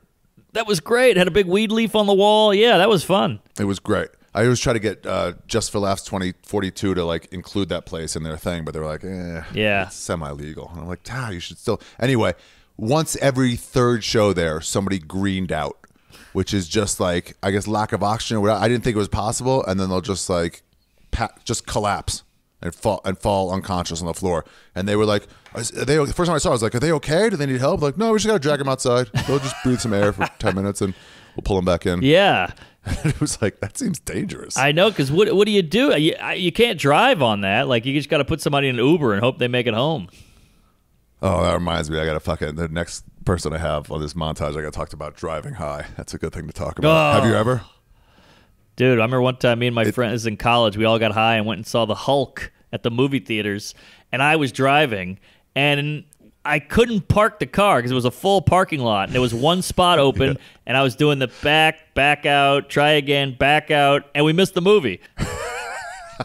Just parking. I couldn't- It's like the easiest thing. Like it's not right. Hold on, I gotta get it. I couldn't do it. Nobody can help you. I had a guy. I had the other high friend was in the. He was outside going, "Bring it back! Right, cut it! Cut it! Cut it!" I mean, it was literally a standard parking spot, and I couldn't do It it. makes you a retard.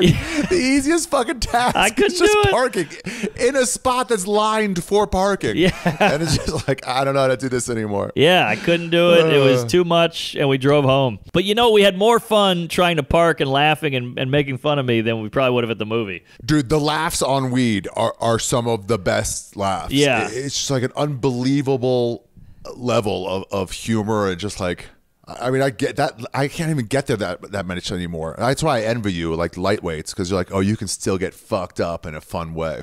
I guess I, I've just I got to learn how to you know control it more because uh, I always do too much or too little. Then I overdo it. Then I'm paranoid. I don't know. I got to work on it. And the thing is, they tell you like, well, I get paranoid. Oh, you need to do indica or you need to do sativa. It's like, yeah, but guess what? Somebody's just handing me a joint. Yes. It's not like I get to like, what kind is that, and, and act like a fucking ass. They just go, hey, you want this? So it's like, it's not like, it's not like you get to decide exactly what kind you have or Right. want. That's not the reality. Right. Go to a dispensary maybe, but not in not in real life. Yeah, it's like handing somebody a glass of Natty Light and then a glass of vodka, and they go, "Oh, it's the same."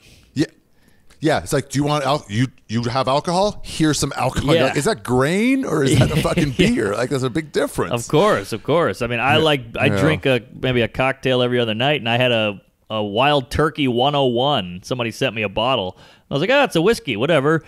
I was fucked up after two because it's 101. You got to remember that. 101. I forgot about that from college. 101 was like it was like this mythical Yeah. thing that you're like, what? Yeah. It's 101 proof. Yes. We, we all act like we know what the proof thing. Oh, what pro- oh, 101 proof. Oh yeah, I don't know what the hell proof is. well, it's like, is that more than 100% alcohol? What does that mean? Right.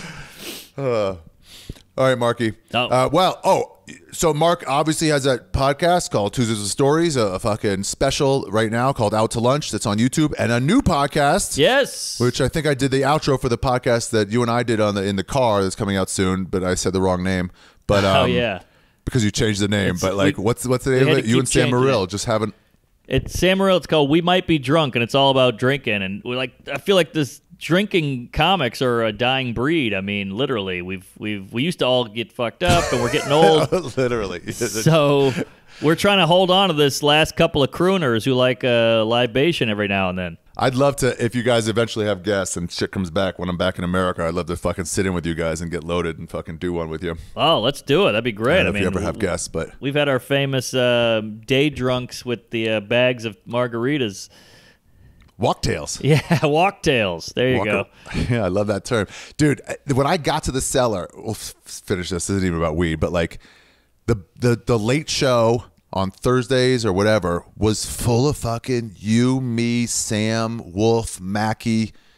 It, it's just boozers Yeah. and a tell outside where he didn't judge you because he's been there. Yeah. and it was just like I love those at Hanley. It was just like we're going for it. Yes. this is the late show and we're here. Fucking, so I gotta go do a set. I'll be right back Yeah. hold that thought, and then just like, God, I love those fucking booze nights with other boozers. I we are a dying breed. and the, the drinks were cheaper and you got a couple of freebies and i remember michelle wolf would be like this is back in the day she would put down so, Damn. so many gin and tonics and i'm like don't you have seth meyers in the morning you're you're a writer she's like yeah yeah i'm like you got to go into an She office fine. yeah She handled it. I, I don't. It's a runner's liver or Yeah. something. She just fucking worked it out by the next day. yeah yeah. michael che too che could i mean i think still Che he could, fucking load it. Yeah, when he was like, ah, we pretty much everything's written for SNL. Uh, let's get going. We're like, hell yeah, dude. nice Yeah. to have you here.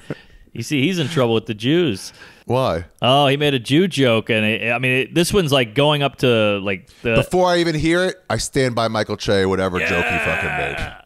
It's uh, the Anti Defamation League is going after him now. You know they went after me. Really? They- remember those amazing racist sketches? They put those in the Simon Wiesenthal Center as a as a uh, uh, an example of of uh, racism on the internet. Whoa. he was in the Simon Wiesenthal Center as an example of racism. That's a feather in your cap. That's a badge of honor. Good for you. absolutely. Don't tell my dad, but yeah, absolutely. What uh, what is that? Is that just a, a group that gets mad about Jewish jokes? yeah, they don't really have a great sense of humor. Um, one time I was in uh, either Edmonton or Minneapolis, one of the Bronson rooms. Yeah. and um, I was on the radio, and I made a joke, which later made it into my act about how Jews are the are the pugs of the human race. They're fucking falling apart. They're too inbred. and somebody called up and was like, "Yeah," and they're they're called that's fucking evil what they said to Ari. And then and then I think Tammy was like, oh, "I think actually Ari said that. I don't think it ah. was a radio host. I think it was Ari."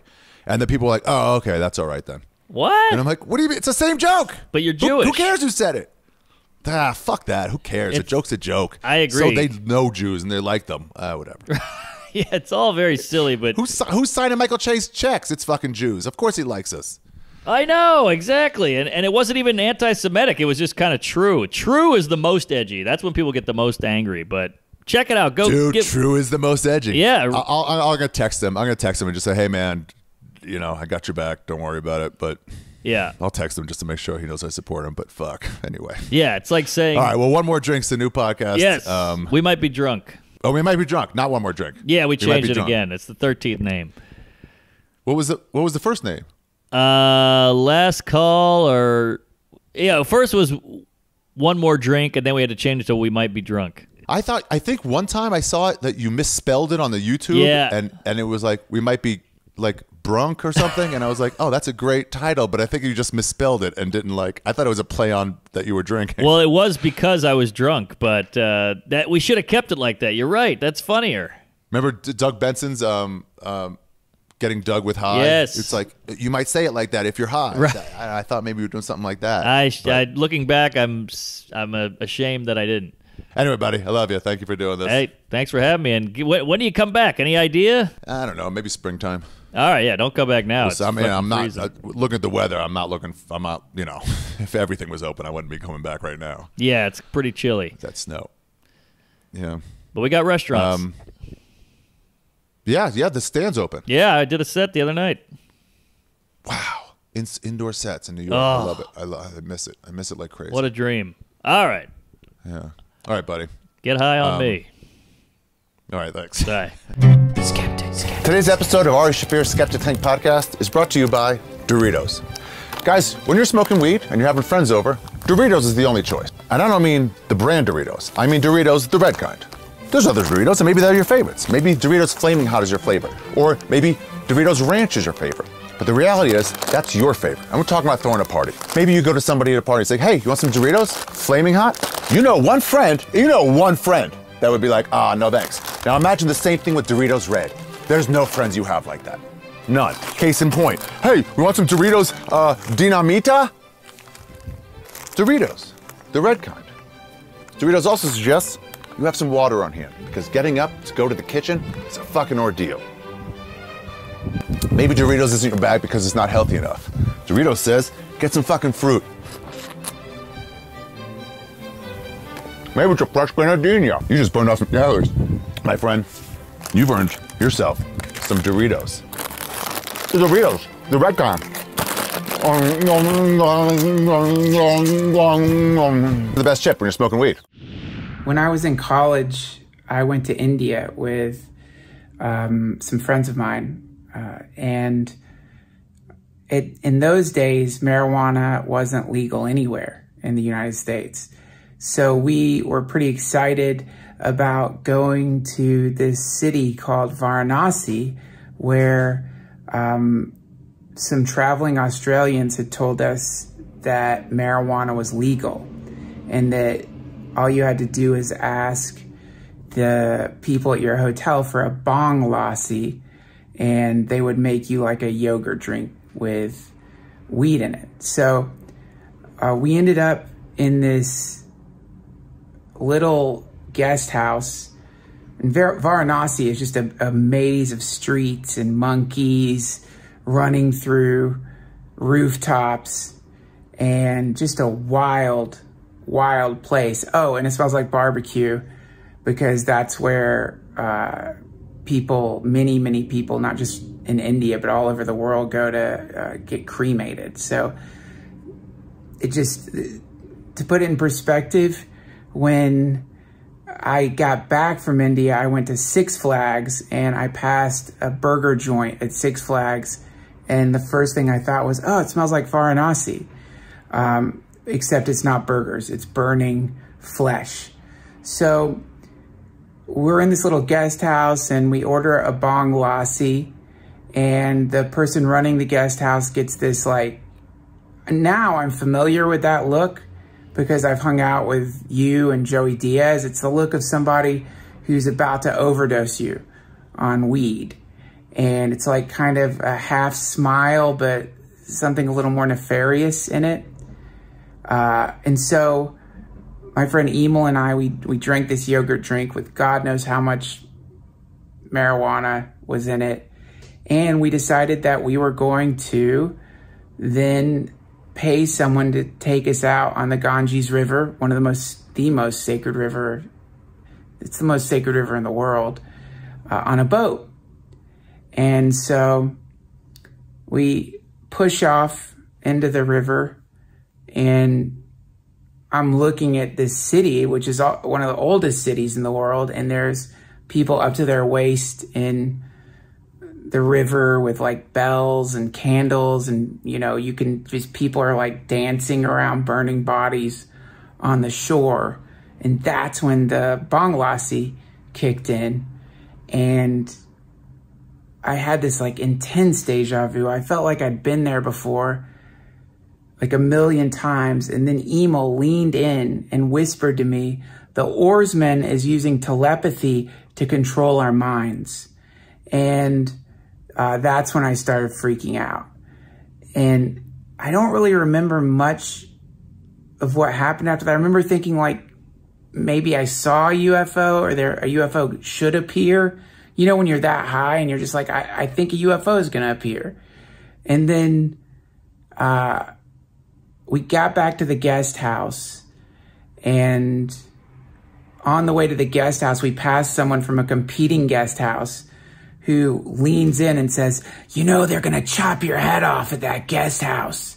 Because he wanted to, I guess, to get our, I don't know, get our business. And yeah, and then we got in the guest house. The power went out. It was a blackout because blackouts are kind of common in India.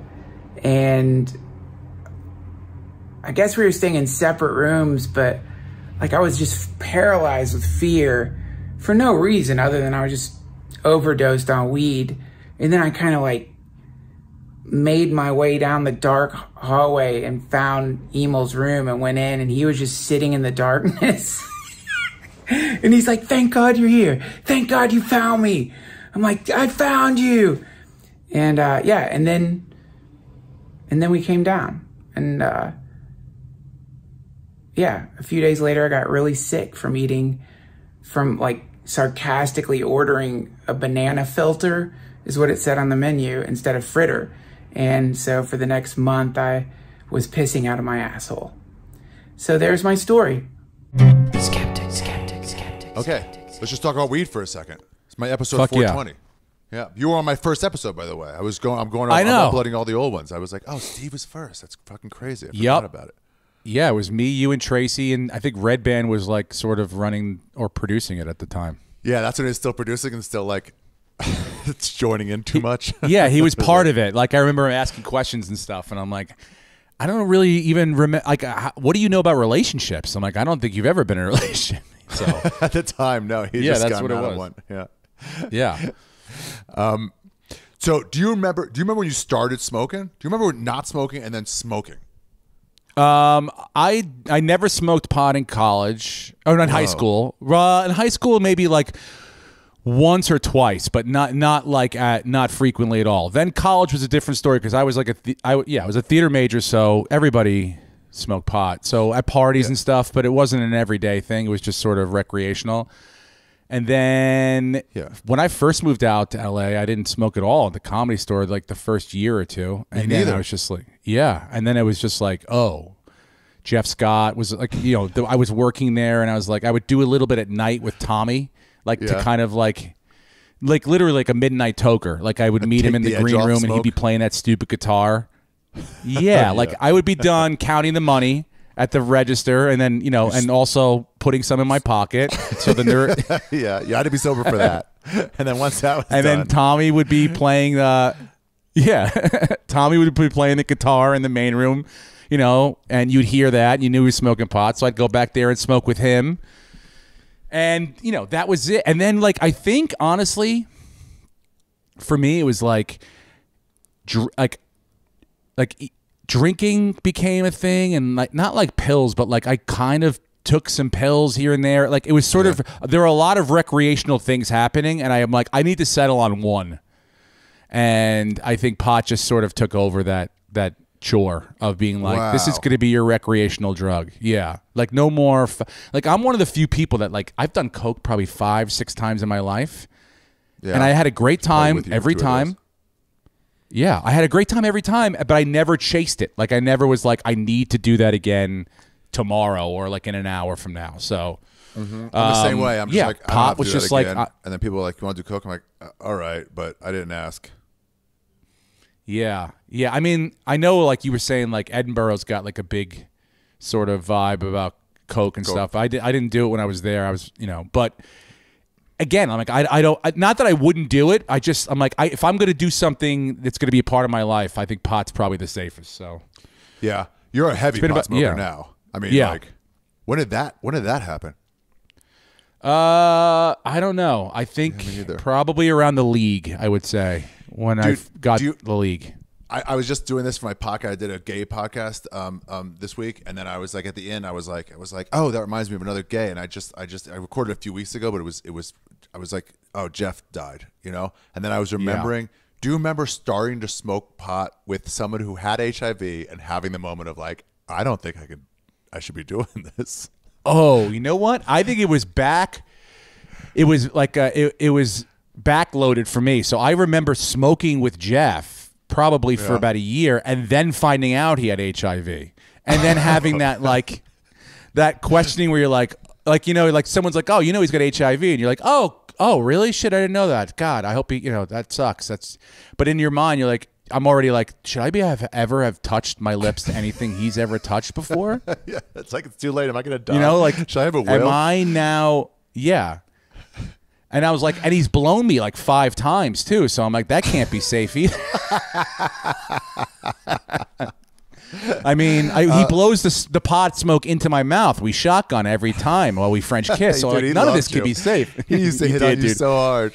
He grabbed my cock. I we did the I did the memorial like we had a little Zoom memorial, and I ca- I came in last minute. Like I was sort of I came in and I was I was like kind of listening for like 15 minutes, but there were a lot of people on there, and people were sharing stories. And then it was like, oh Steve, do you? I was like, yeah, I'll share. And I told the story about how I almost hit him with the car.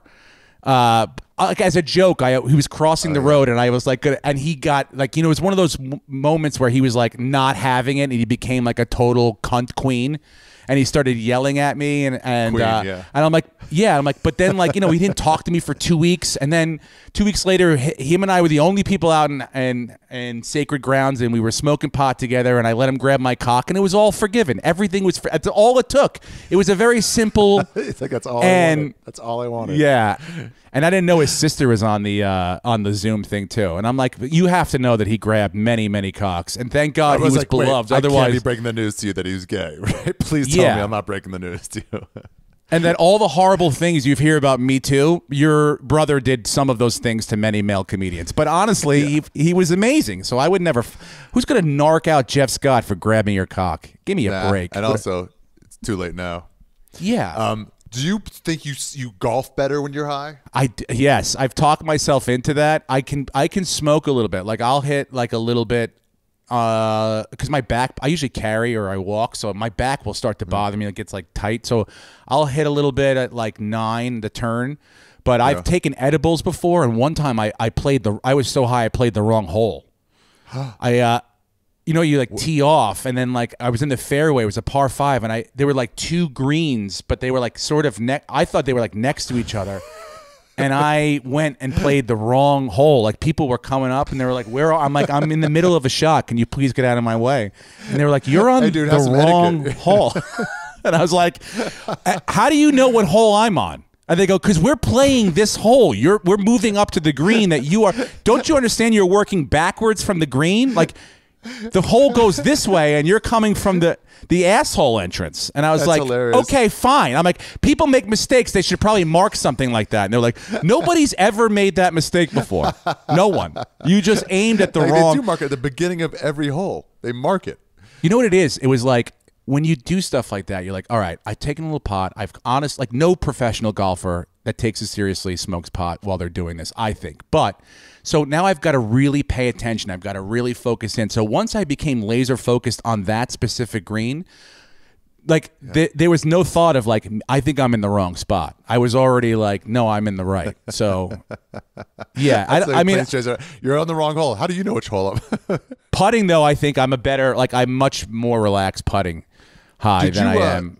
when we used to play poker, did you down at like Commerce and Hollywood and stuff? Did did you play? No, no, no. That was before that because that was before the league. Like I don't think we didn't smoke before we went, did we? I don't even think you really Uh-huh. No. smoked that much then But too. later, either, right? I started smoking.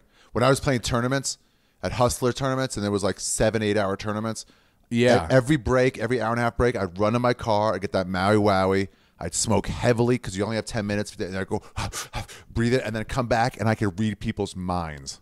Wow, really? I would have thought like remember the very beginning when we went to commerce, like we were nervous just getting in like Just sitting figuring down. it yeah, just sitting down and kind of getting the lay of the land. I couldn't imagine trying to navigate those waters high. Oh yeah, I think we would have got arrested. Cigarettes, and we got Yeah, to smoke we- a cigarette. Yes. Like, can, can I get the seat back? And they're like, "Sir, you can leave your chips." Like, well, who's going to guard them? They're like, "Sir, no one's stealing Yeah. your chips at a casino." like, yeah, you say you're in on it.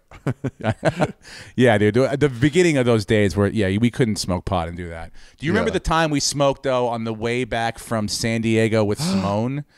And we were in the car. We had hotboxed the car so bad that poor Simone probably got high. He was driving.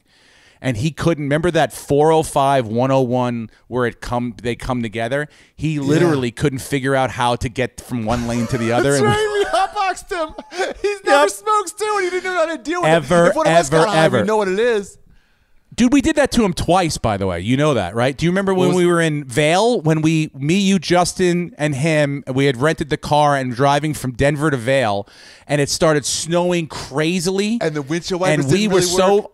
And the windshield wipers didn't work. He was driving, right? It's the only time I've ever seen him get aggravated with us.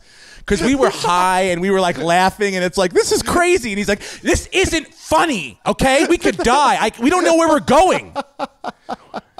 And I was like, don't be such a so fucking pussy. Yeah. I'm like, such a pussy this guy is. Why don't you smoke some pot and calm down, you fucking loser? It was dangerous too. When it's snowing on the Dude, pass, like they were. It was we were on a closing the pass. highway doing trying to keep up with highway traffic in like blizzard conditions It- it was with no hard. windshield wipers.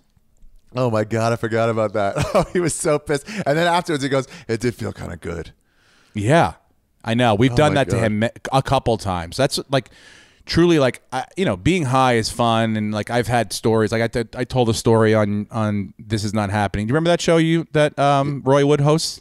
Did you oh ever yeah, hear that show? he was a great host of that show. Yeah. This is not happening. this is not happening. Yeah. Yeah, I did it when they had the first host, the original host. I don't remember the original Wait, host Which name. one were you talking about getting high? It's not the me, me, Bobby Lee, Natasha you story. Which one? no, no, it was the Kid Rock story, uh, where I was Oh, in. yeah. Um, yeah, I was in it? Oh, Nashville, you went and I went to smoke weed. Yes, and I thought I was going to smoke with the fucking guy that owns the place, Santa, but he was smoking pot with. Well, he wasn't smoking pot. He was smoking a cigar with, with uh, Kid Rock out there. And I went out there, and I was so embarrassed, and I didn't know what I was so high already. I'd gone, I was, I'd smoked in the car on the way there because the people that took me there, we got high on the way there and I was Yeah. already high. I was like, I'm gonna go smoke with the Santa guy, and then I was out back with the Santa guy that owns the Santa's pub, and I did not know he was talking to Kid Rock, and I was so stoned, and nobody wanted me around. And I didn't know how. You know, when you walk into a situation, you don't know how to leave it. You're like, I don't know how to. I'm like, I'm already too embarrassed.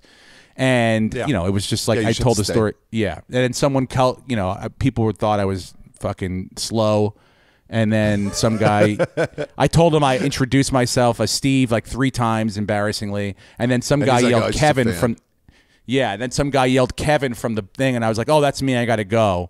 And then I heard Kid Rock say, "I think that guy's retarded." Yeah. Um, That was the best line too, because you get every one of those stories gets to an unbelievable moment. That's what makes it a story. And, Yeah. and you could tell you were like you could see the audience looking at you and specifically you, and it's just that moment of like, guys, I get. It's almost you didn't say it, but like this is that moment, and you're like, I get it. I know that I'm a known liar, but I am Yeah. telling Yep. you the truth. It was like But put whatever you're thinking out of your mind. It happened. This is Oh, very yeah implausible, but I'm telling you right now, Kid Rock is in the back of that fucking Yes, place. Rick Ingram was with me. Oh, really? Well, that mm-hmm. verifies it then. Sometimes Yeah. you get so high, you see somebody at the store that's so high, and you don't realize they're high. You're like, "What's wrong with them?" And then it hits you like, "Oh, of course, that's they're just fucked up. They're, they're not answering your questions." Have you, I have a question? Have you ever had to leave the stage because you were too high? Okay, no, I, I power through it. I've I've bombed before because I'm too high. I've lost my train of thought. Uh, first time Rogan made me get too high in Boston. I remember going Okay. like, "Okay, I wrapped up my. I was wrapping up my set, and I know I had two bits left. I was like, bit A, bit B. I was like, okay, tell you what, I'll do bit B first, and then I'll do bit A. Did bit B, then finish that, and I was like, that bit A, whatever that is, is gone. It's not in my head. And I'm quickly trying to find it, and I was like doing that extended laugh, like, uh, you know, whatever you can to buy yourself a couple seconds. Wasn't coming to me. And then I was like, hey guys, Joe Rogan will be here in a second. And everyone started going fucking nuts. And I'm like, well, that was the wrong thing to say. And then I never, I never found it. I just had to get off. Oh my god! And then another time at the old Houston Laff Stop, uh, the waitresses had electronic, uh, um, uh, like pads to punch in the whatever their people were ordering, and one of them was in the back. And I just thought someone was giving me the light early, and I got off in like six minutes on a, on a 25. I was like, I guess, I guess they want me Oh. off. Yeah, I got off and no one was around. Damn, dude, I, I remember getting uh, the early days of edibles before they you knew like like you know the, they were milligram packages and stuff. You would get like a Just- couple gummy bears. And Mm-hmm. uh, I remember I had a long day at the league, and then I had a spot at the factory, and I hadn't eaten all day, and I went like straight from one to the other. But on the way, I was like, I just want to fucking get a good night's sleep, so I took an, uh, a gummy on the way to the factory on an empty stomach, and I guess I got Yeah. bumped. Like maybe someone came in and I wasn't like the time, and it was like starting to hit me, and I got called on stage, and I'm on stage. It's not a lot of people there, but I just felt cold sweats over my whole body, and then like you know when you're going like I, I'm, I'm probably gonna pass out, and so I'm like trying to do the joke, but thinking I'm like. Am I just high and I don't realize that like this isn't happening, or am, am I ignoring the physical signs that are allowing me to like I'm I'm going to pass out? And so I started feeling like the, the cold sweats over my hands, and then I was like, I started sweating my back, and I'm like, this is not normal for being on stage for the first two and a half minutes of a set. And so I just go, hey, I'm uh, I'm not feeling great. I just said, I go, I'm out of here. Like in the middle of like a setup, I go, I'm just not feeling great. I'm sorry. And Adam Ray was next. He was like sitting in whatever that Jamie booth is over there at the factory, and he goes, uh, I could, I remember he was something. I go, and everyone was like laughing on, no, no, I'm serious. I'm done. I go, who's next? And Adam Ray's like, are you serious? And I'm like, yeah. Can you come up here? And he's like, okay. And he came up on stage and he's like, oh, keep it going for Steve. And I went right to the bathroom. I threw up in the bathroom. But I'll tell you this. Weed has saved me before from like I do you remember when we went to San Diego to the to the Chargers game and we drank all day like at the game and then we smoked pot before we left and we drove and we from made Edgar. We the made Charger Edgar. We go, Edgar, to if you the quit store. drinking at the end of the first quarter, we did Yep. Jello shots before with those people. And I was like, "Hey, we got extra We'll Jello buy your shots." Like, ticket. That's my favorite. Yeah, and we go, Edgar. If you, we'll buy you a ticket if you quit drinking after the first quarter at the half, so you can drive home. He was like, "Fucking deal." Yeah, it was awesome. I remember he drove all the way back, and I remember being like, "Oh, I, I'm uh, the whole time. I'm like, I have, but I, I have to throw up, but I didn't. I got all the way back to the store. I booted at the store, and I right to totally. bathroom. I said, I go, yeah, that was weed. Weed helped me settle my stomach.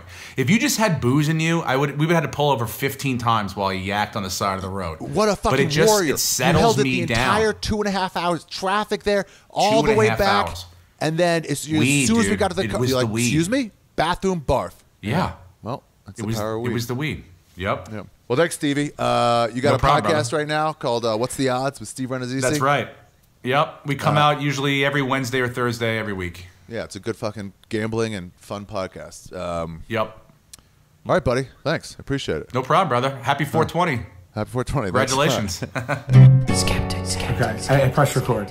Okay, great. How high do you look? I wish I could see you. Um, I think I got a little bit in the eyes. It, it's it's tough because also if you've just gone through a breakup, you look kind of high. Yeah, that's true. That's true. I have um, I have a scar in my right eye. Right, I've had it since um, fifth grade. Yeah. And I'm looking down at the phone. I'm looking down at the phone because I'm talking to you, and I realize I should be looking up at the screen. Um, my sister. at your scar. No, I'm looking down at, at the phone on the table because, and then meanwhile I'm supposed to be looking at the screen. Okay. Oh right, right. Um, my sister hit me in the face with a Ken doll. We might have even spoken about this before, and uh, it scarred me in the eye.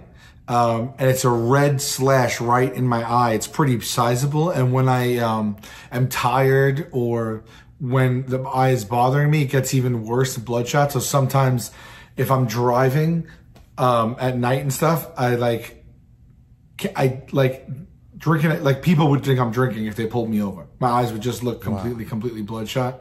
Because I've been stone sober and pulled over before, and the cops are like, "You've been drinking?" I'm like, "No." They're like, "Why is your eye all bloodshot?" I'm like, "My sister hit me with a Malibu Ken in 1986." Sounds like a punk rock lyric. My eye bleeds. Well, your your Ken doll made my eyes bleed. I'm like, yeah. When did you start doing edibles? um, on purpose or by accident? Oh shit! Really? Well, the first How'd you do by accident? year that I even tried a few edibles, I didn't know what I was doing because they were all homemade, and no one ever knew what the milligrams were and like how to pace them and stuff.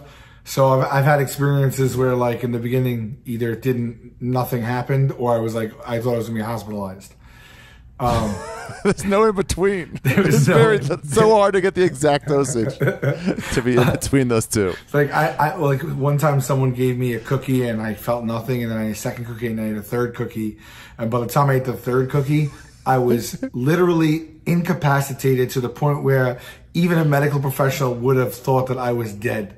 I swear to God. Oh my god! I swear to Oh my God, just like couldn't even function. I was just laying shaking, just laying there just shaking. and then, um, and then another time, and that, that was like I think that was my first edible ever. Actually, I was bartending on Thanksgiving Eve.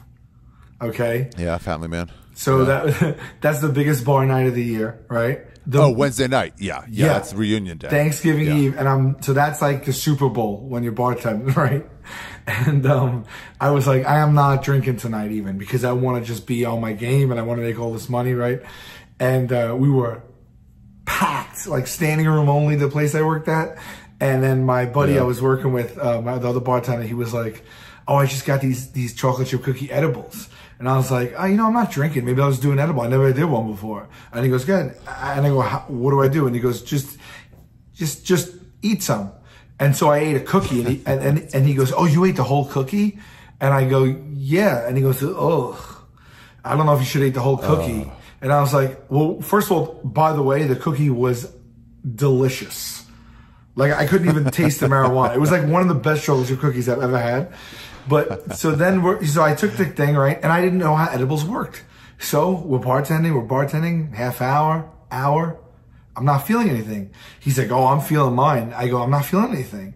And he goes, well, he was, he was a lot like a smaller of a guy, like thinner and stuff. So he's like, yeah, maybe, maybe have a little more then. So I was like, all right. So I had another full cookie, right? After how long? Um, 45 minutes to an hour. That's the exact time when you should not take any more. Correct. That's the time where everybody says maybe I need more, and it's like just wait till an hour ten. First time, but this is the first time I'm ever doing an edible, right? So it gets worse, man. Uh, so then I, um, I wait like another 20 minutes. I'm getting impatient because he's like, dude, I'm so high. And, and I didn't smoke at the time, weed at all. I, I didn't, didn't smoke. So, I mean, I had smoked, but I, I mean, like pu- two puffs passed because somebody had it. I never bought it. I never had an edible before. Nothing. So, again, I didn't know how this worked. So, 20 minutes later, and he's like, "Wow, I'm, I'm feeling it." I'm like, "What the hell?" And I ate a third cookie, full. So, even if this person only put in like five grams of cookie, which I'm assuming a cookie is more than five grams, that would mean that someone who's never done an edible in their life took a 15 milligram cookie milligram. That's retarded. Right. And I'm thinking they were at least 10 or 20 milligrams. So There had to be. Plus, in those days, there was no milk. It was just like some are stronger than others. yes. And so I just ate yeah. three full ones. And then at around 10, 11 o'clock, oh, when we, when the bar filled to capacity, they all hit me at the exact same time. Exact same time. Yeah, they don't, and I, I they don't come on 30 minutes later either. As long as you get one, you're like, ah, shit, I got about 40 minutes and it's going to get really bad. No. It's just like, they just join up. In, in one shot. And it was my first time ever feeling that. And I and I grabbed my friend and I was like, "What did you do to me? What did you do?" It's almost like the second one pulled the first one backwards. Yeah. It. And the third one pulled it back even further. Yeah. Dude, it was it was just I'm sure the first one would have put me on my ass completely. It's just that I didn't know to wait. So when they hit, they hit like I ate three cookies and I never did that before in my life. And I I I look like um I look like I feel like you know you ever see like a very old person or even like a meth addict how they like hobbled over shaking trying to walk. Yeah. Did you go So- home? Did you work? What? Did you work? Yeah, my shift was going until four in the morning. This hit me at 11 p.m. And it was like everybody was there. And so it was Thanksgiving Eve too. And it was everyone who like, um, you know, when you go away to college or away to school or you moved away from home or anything like that, you always come home for the holidays. So this was the night in, cause it was a neighborhood bar that everybody came home to see people you haven't seen in forever. Yeah. Um, also telling about college and shit like that. Yeah, but not just college. This was after college. This was in my 20s, but people still come home that like moved away. It was just, I saw a lot of people. You see people you haven't seen in the longest time that night.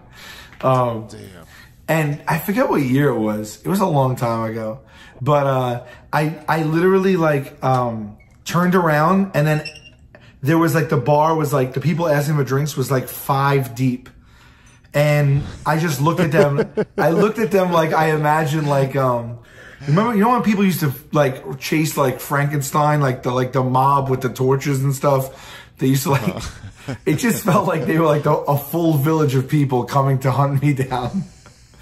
like like they may as well have had pitchforks and torches and stuff, and, and like and like screaming at you to get like lanterns. Like they were like I was a witch almost and I that's how I felt. I felt like they were gonna like burn me at the stake or something. And I and and actually, you know what? Now that I'm thinking of this, so you know my buddy Casey Jost. Yeah. Yeah.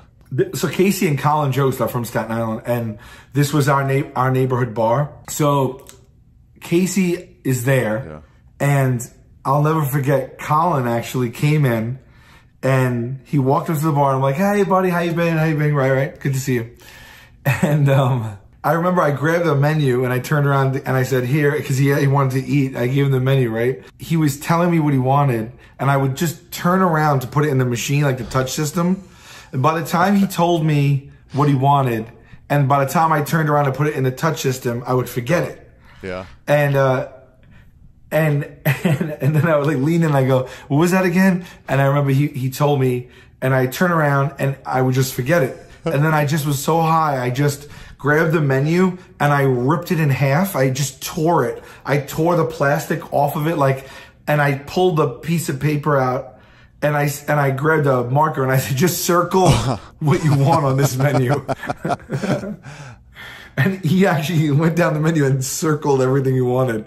And then I turned around and used that to, to, to, put, to put it in.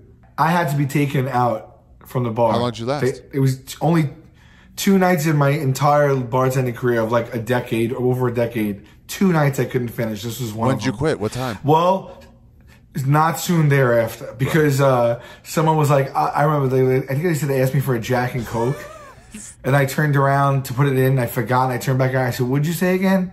And they're like Jack and Coke, and I turned around and I couldn't remember it. And then I was just like, uh, And then I turned around and I was like, and then I remember I was like, I know this Jack, and I couldn't even remember the Coke. but it's like, what else? Problem? and then my cousin That's the came in and he was like, like, I, luckily, like all the people that worked there also hung out there. So there was like people that there that could cover me that night. And, and I remember after that, they, they actually took me and they put me in a booth in the restaurant to lay down because I was like shaking. Like I looked like a, like a, like I was saying, like an old meth head. Oh my god. like an old person or a meth And, and I just, and I just passed out. And then they woke me up at like four in the morning and drove me home. It's just that second cookie. It's just a second. cookie. There's no reason to take it. I, I was had one in San Diego once where somebody was like, "Eat half, and if it doesn't hit you in like 45 minutes, take the other half." And it was like 40 minutes, and I was like, "I'm gonna take the other half." My buddy was like, "That's fine, but this is how those stories start." And I waited like 10 minutes, and, Yeah. and I was glad I did because it kicked in. I have another bad edible one. My uh, my Shay, this my friend that I work with, she gives me this this fruity pebbles treat, like Rice Krispie treat, but it's Uh-huh. fruity pebbles like.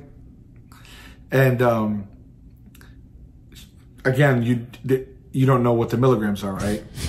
Yeah. So I split it. I like I just split it with my girlfriend, and um, I thought we would be fine. Like we ate a little bit and we didn't feel it, and so we ate a little bit more, and we ended up just splitting it. It wasn't big. It was like the size of like like half the size of a Twinkie even. So it didn't. I didn't feel like it would be that strong, and we got so high that like we. I remember we watched the Lego movie. Yeah, it's a good movie. And to this day, I don't know if the Lego movie was the most fascinating movie that was ever made in the ever. Yeah.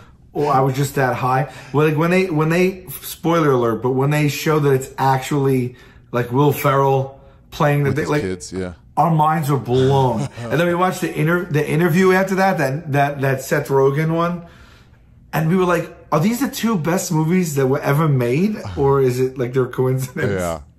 But um, Dude, I had to, when I, no, whenever I we- downloaded had to- stuff like mo- movies and TV shows and stuff, and I watch them high, I'd have to put them in a separate folder that said "Watch this again" to be sure, because it'd be like episodes of Family Guy. Like I think this might have been the best piece of television in history.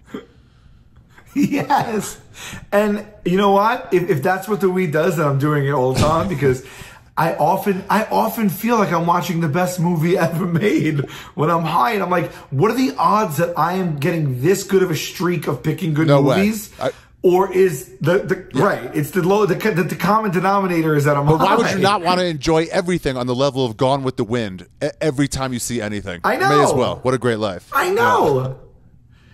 I know. I started doing edibles more and like during this quarantine at certain points and everything I was watching was like a home run. And I was like, this is the greatest streak of my life. And then I just realized, oh, I'm just high every night. I can sometimes. I, the only problem with getting high watches is I can see through bad acting. Yes. Oh my God, dude. Wait, I can't believe you said that. That is all I've been thinking about the last few weeks. Cause, uh, no, you know what it is? It's, I'm high, but here's the other thing. This is when you see the bad acting or the good. When you're high, right? Turn on closed captioning because it's almost like you're reading the script as they act it. It's actually made me like be like become like what I think I could act a little better because I see when I see the line and a lot of times with closed captioning it comes before they say it. Right? So when that's happening, I read the line, then I look up, and right before they say it, I get to think in my head like, How how, would would, I it? deliver the line? How should they Uh-huh. deliver the line?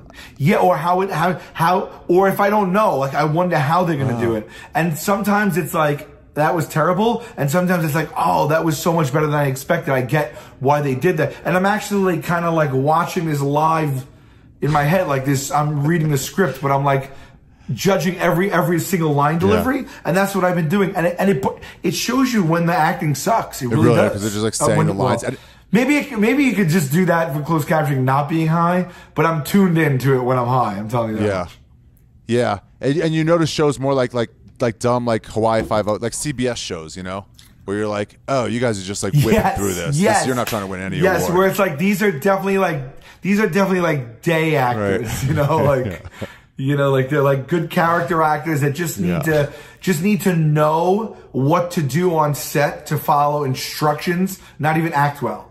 You know, just come I need in, you here. know your I need you saying the line right by the time. window. Yes, it's the camera set up. Yes. Get there. I don't care. Just get there. totally see Yeah. that. And I like it. I actually like it because it's funny. It's fun to me. I've been getting like that with uh with stuff in other languages or on mute at a bar. On mute at a bar, you can like see it too. Oh yeah, yeah, yeah, yeah, yeah, yeah. When they're overacting and stuff. I've been, I've been, um, the last few days. All I've been doing this because I go back to work this coming week, but like we had to, we had to be down, so I really not really going anywhere or anything. So I've been home. I, I've been binge watching um, Practical Joker. old episodes, decades old episodes of Hell's Kitchen. Hell's Kitchen. Like I started in the beginning, and now I'm on season 13, Oh. and there's 20 seasons. With the angry fucking British guy? Yeah, I love it. It's the same thing over and over and over. I but, ate this um. There's mold in this, and you made me eat it. Yeah, it's the. I've been doing that, but wait, what was I getting at? Wait, wait, wait, wait. This It's was on mute. Watching on high. mute, something like that. Watching when you're high, you can see. Shit. I wonder if when you're high, can you see the setup of the of the fake like reality shows where you're like, oh, I can see how this was like faked. Wait, what was my absolute? What was my freaking point though? Because I did have one. Get there. Now, but I, what I've been doing. What were you saying right before that? It- watching What were you stuff on right mute at a bar, you can also see through like the acting. Sometimes you can see overacting Yeah. day players. This is a fun podcast. Day players, day players. Players seeing bad God acting, damn it. bad acting, but seeing good acting, trying to get their lines, getting ready. To get their lines. Yes, yes. And then, and then you brought up Hell's Kitchen though, with the closed caption. Oh, I know. Yes, that's. I've been doing that. Yeah, and that's the other thing I've been doing is I've been trying to think of fun Halloween costumes. Okay, like okay, I thought of one today. Okay, ready? It's corny. It's, the, the point is like combining two things. So like you know, um, Yeah. uh, like uh, what's a fam? Who's a famous Dan? What? Dan. Dan something. Give me a Dan. Dan, Dan Soder? Well, yeah, okay, sure, person. sure, but it's like Oh, that's who you think. Steely Dan Soder. Oh, right. Like I don't know, I, I, I like, but either puns or combining two people. So it's like, um, uh, REO Speedwagon. I can't think of anything. R E O. S- Yeah, No, that's too. That's but too not long. wait. What's REO Speedway? Oh, REO Speedwagon. No, no, no. So I wish I, I you know, I made a list. And I gotta find the list because right now I'm actually high, so I cannot think of anything. But no, like, like this is not one. This, oh, this is one, but this is I'm so high.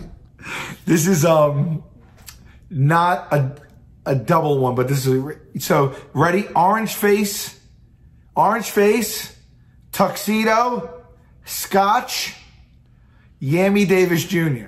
You get it? Orange it? face, tuxedo, Yammy Davis Jr. Or, Doesn't help that you cut out. yeah, orange. Face. Yeah, like orange skin, orange skin, tux, scotch. But why tux and scotch? Davis Why would it just be tux? You know, so just so you know who Oh, it is. right. Like, Yammy hey, Davis Jr.. Okay. You know? Oh, cigar. Maybe cigar. Sorry, cigar. And that's what your You know? costume would be. You'd be You get what I'm combo of those saying? I get it. Fun. I get it. I get it. Yeah. Like, okay, so original Halloween costumes is what I mean. Yeah, I get it. I like it. So I usually trade back and forth with Casey, and we have a list of like a hundred, Okay. but I just can't think of any right now. But um, I thought of one for Okay. you. Okay, ready? You get um, a poncho Okay. and um, a um, sombrero, Sombrero, poncho. Okay. poncho, right? Yeah. And you are arriba. Okay, not bad. Isn't that good? Not bad. You get it? Uh, I'll, uh, maybe I'll try it. No, but you get it, Yeah, right? I get it. I'll try that one. Isn't it great? Yeah, that's you don't roll your R, so you like really you're arriba, but you'll say you're arriba. Arriba. Arriba. yeah. Arriba. That's not bad. Yeah, arriba. That's no, like that's bespoke. Right. If That's Sammy Davis Jr. yeah. just just had yellow skin, if he yellow faced, then he could go as Yami Davis Jr. Orange. Orange. Oh, right, right, Yeah. right. Well, you get yams at a better place than I do. I guess. Uh, we could also put a little sauce and pasta on you and call you arrabbiata. Arabiata? That's just. Is it ar- arrabbiata? Yeah, I thought it's Arabiata. It's Arabata? I think it's pronounced arrabbiata. I yeah. think I'm right, but the, Unless- for me to correct you, I- on this know would be I, I think you, you you might be absolutely right. You might be absolutely right. Dude, one time I, I brought a cookie into it. I got it from a fan, a big uh, uh, M&M weed cookie into the stand, and I asked um, one waitress if she wanted one. She goes, "No, no, no, I can't. I'm working." And I was like, "Okay." And then I asked Adele, and she said, "I can't in front of these people. Uh, let me go to the back where we used to go smoke pot in the old stand." And so she had some. And then the first waitress was like, "Hey, I can have some. Let's go outside though, where the cameras aren't watching." And then I got her. I, I got. I, everybody was on it by the end.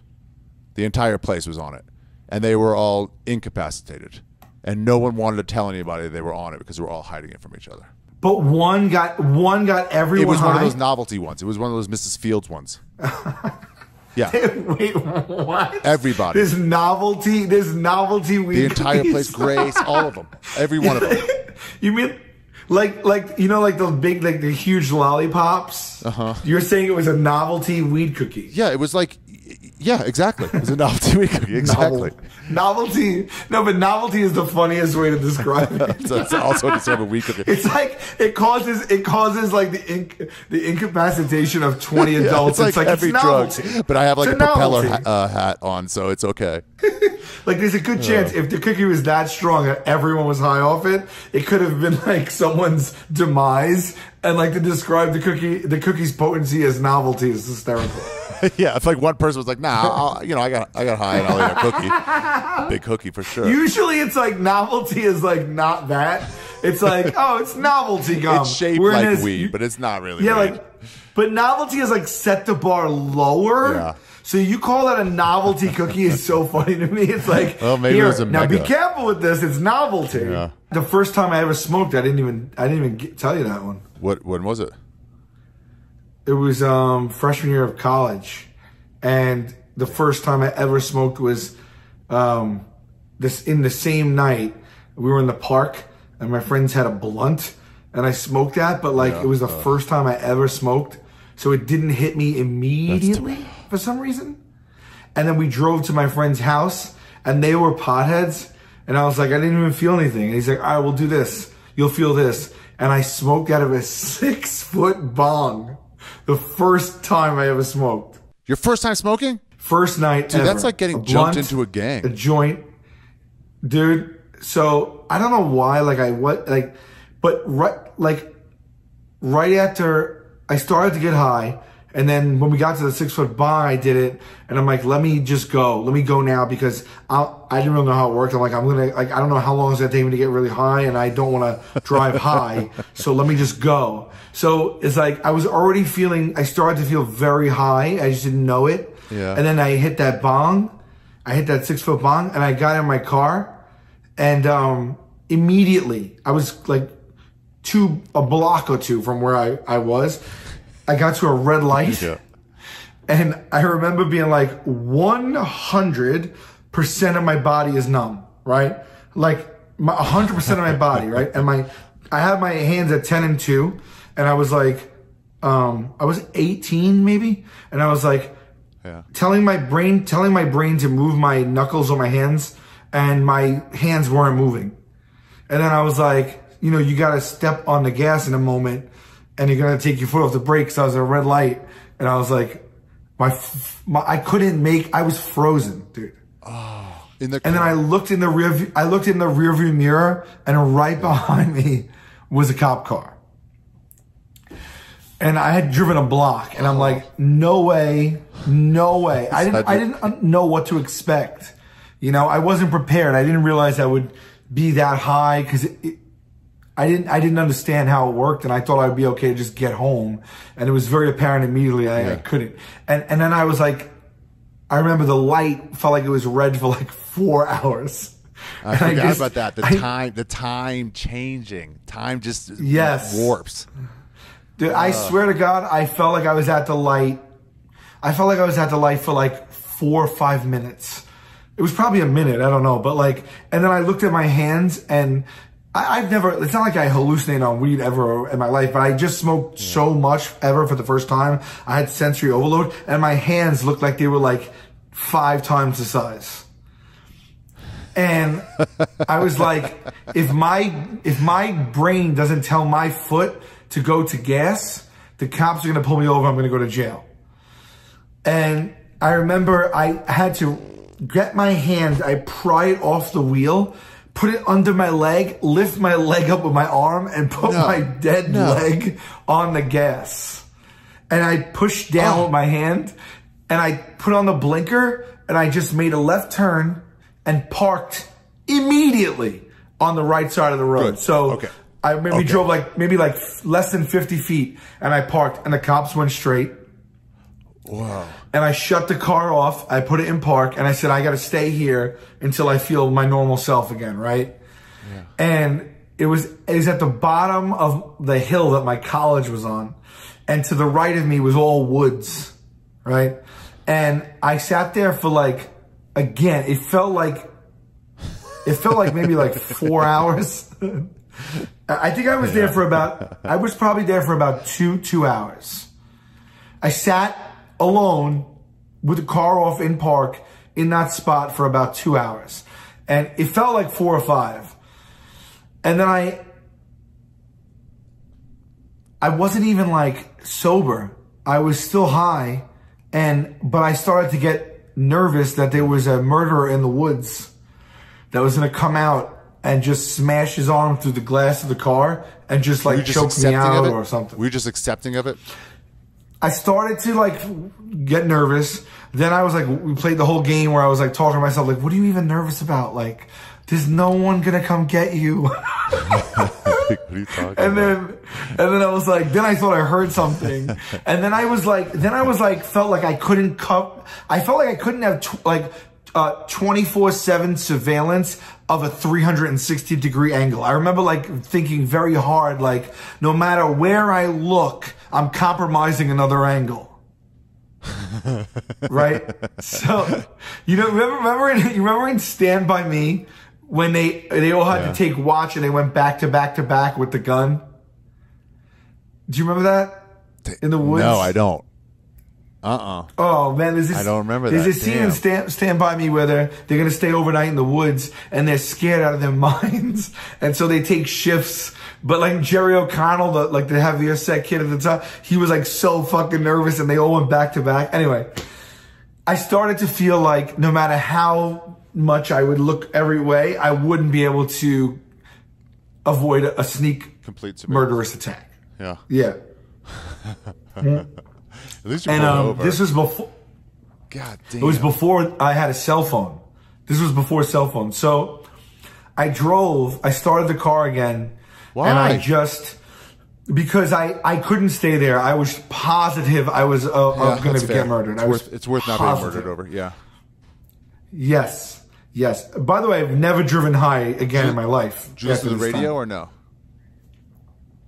No, because my car only my car only had AM.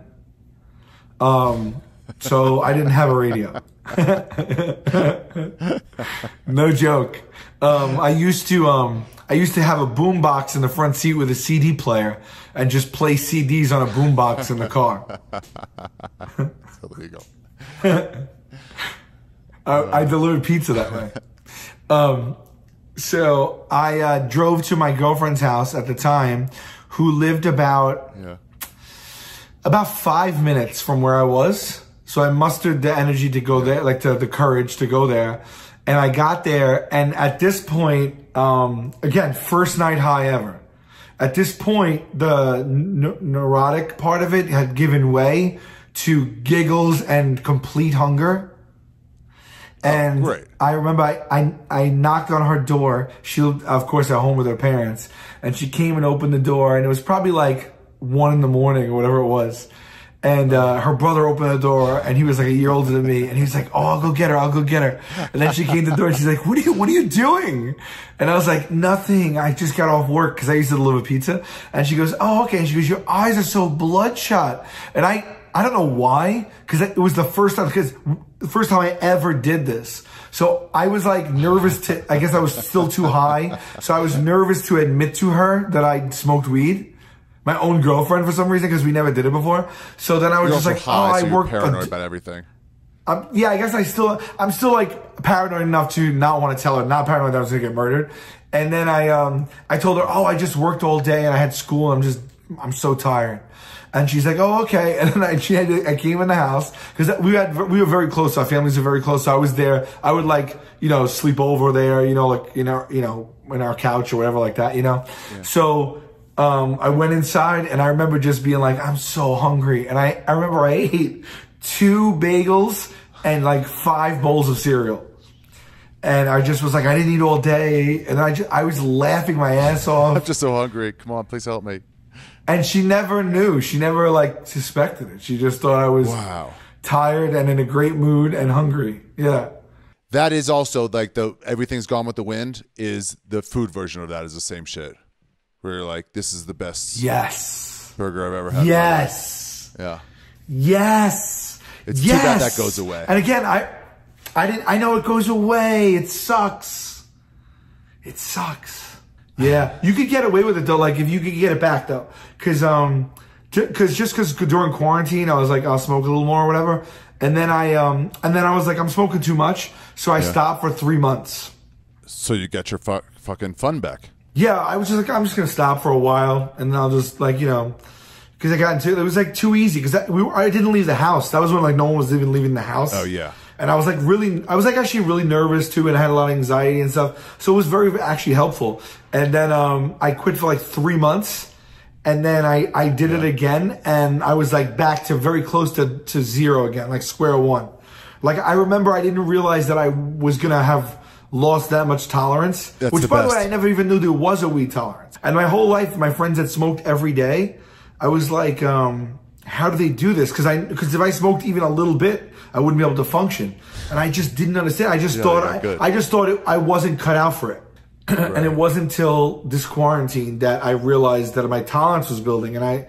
It, I was like, it was like a light bulb went off. I'm like, oh, that's and you don't see it do happening it. too. It's just It's- like you just need a little more, a little No. more, little more. Then all of a sudden you're doing fucking lighting up torches and doing dabs in the middle of the fucking park. Yeah, and that's how inexperienced I was as as of three years ago. I had no idea about tolerance. Wow. So it was it was actually a full surprise to me, full shock. And then by like the time I stopped, dude, I could do like a 50 milligram edi- edible and smoke like three joints in a night. it was too much. It was too much.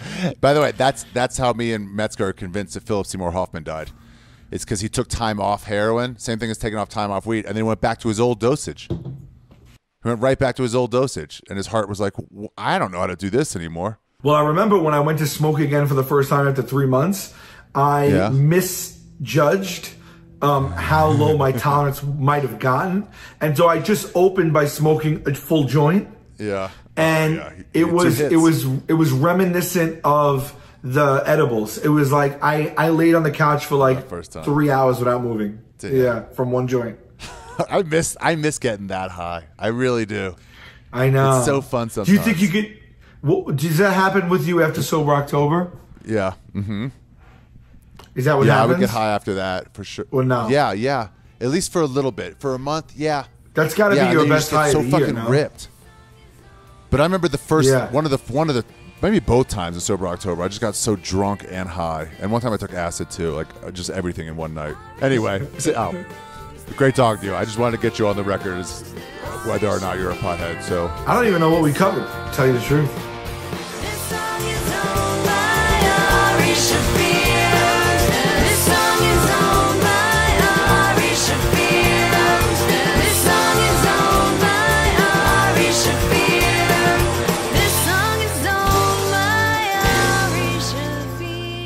That's the episode, everybody. What'd you think? I fucking loved it. Make sure, make sure. Oh, here's if you're a real stoner, you use one of these Tightpacs. Um, after you put it out, like you close the lid and it, the smoke goes and then puts takes away all the oxygen, so it takes away, so it puts out the joint.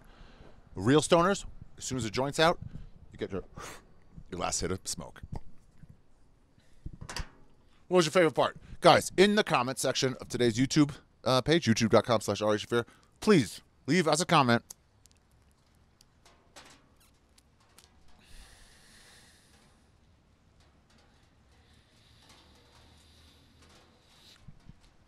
Did it work?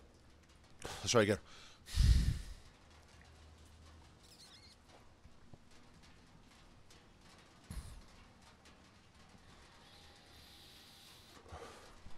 Fuck no. God damn it, it's raining. Ladies and gentlemen, that's the episode. Ah, shit.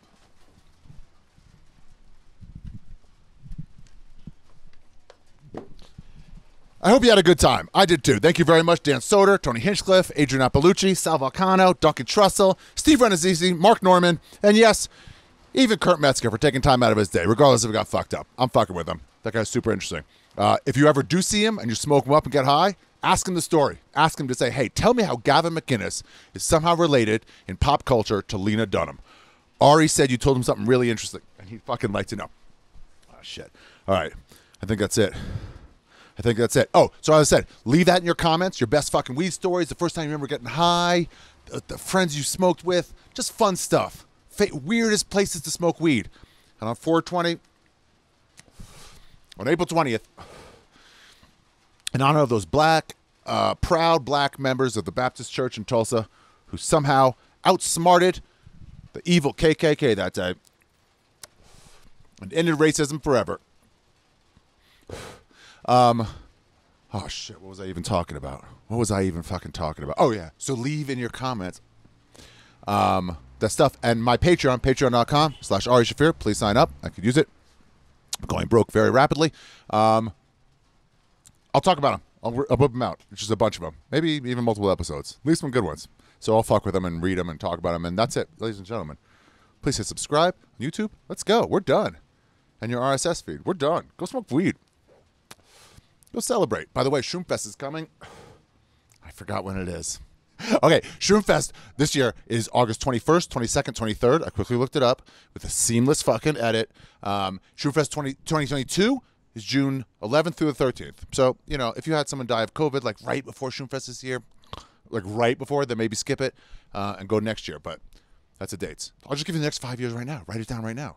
2021, August 21st, 22nd, 23rd. All over the world. How do you celebrate Shroomfest? You just eat mushrooms. 2022, June 11th through the 13th. 2023, July 1st, 2nd, and 3rd. Shroomfest 2024 is July 20th, 21st, and 22nd. And the last one, not the last one, but Shroomfest 25th, 2025 is August 9th through 11th. So fucking find some shrooms now and get ready for it. Celebrate however you want. Guys, it's not the it's not right for this episode. None of this is right for this episode. It's for weed. Weed is mushroom's best friend. Dude, if you're doing mushrooms and you don't have a joint or maybe five with you, because you want to be able to smoke some, and then, oh, I lost it. Who cares? I'm telling you, dude, those tightpacs. Weed is mushroom's best friend. And a really, quite a good friend from college is Molly also. But anyway, ladies and gentlemen, Ari Shaffir Skeptic Tank, episode 420, A Pot of Weed. Goodbye.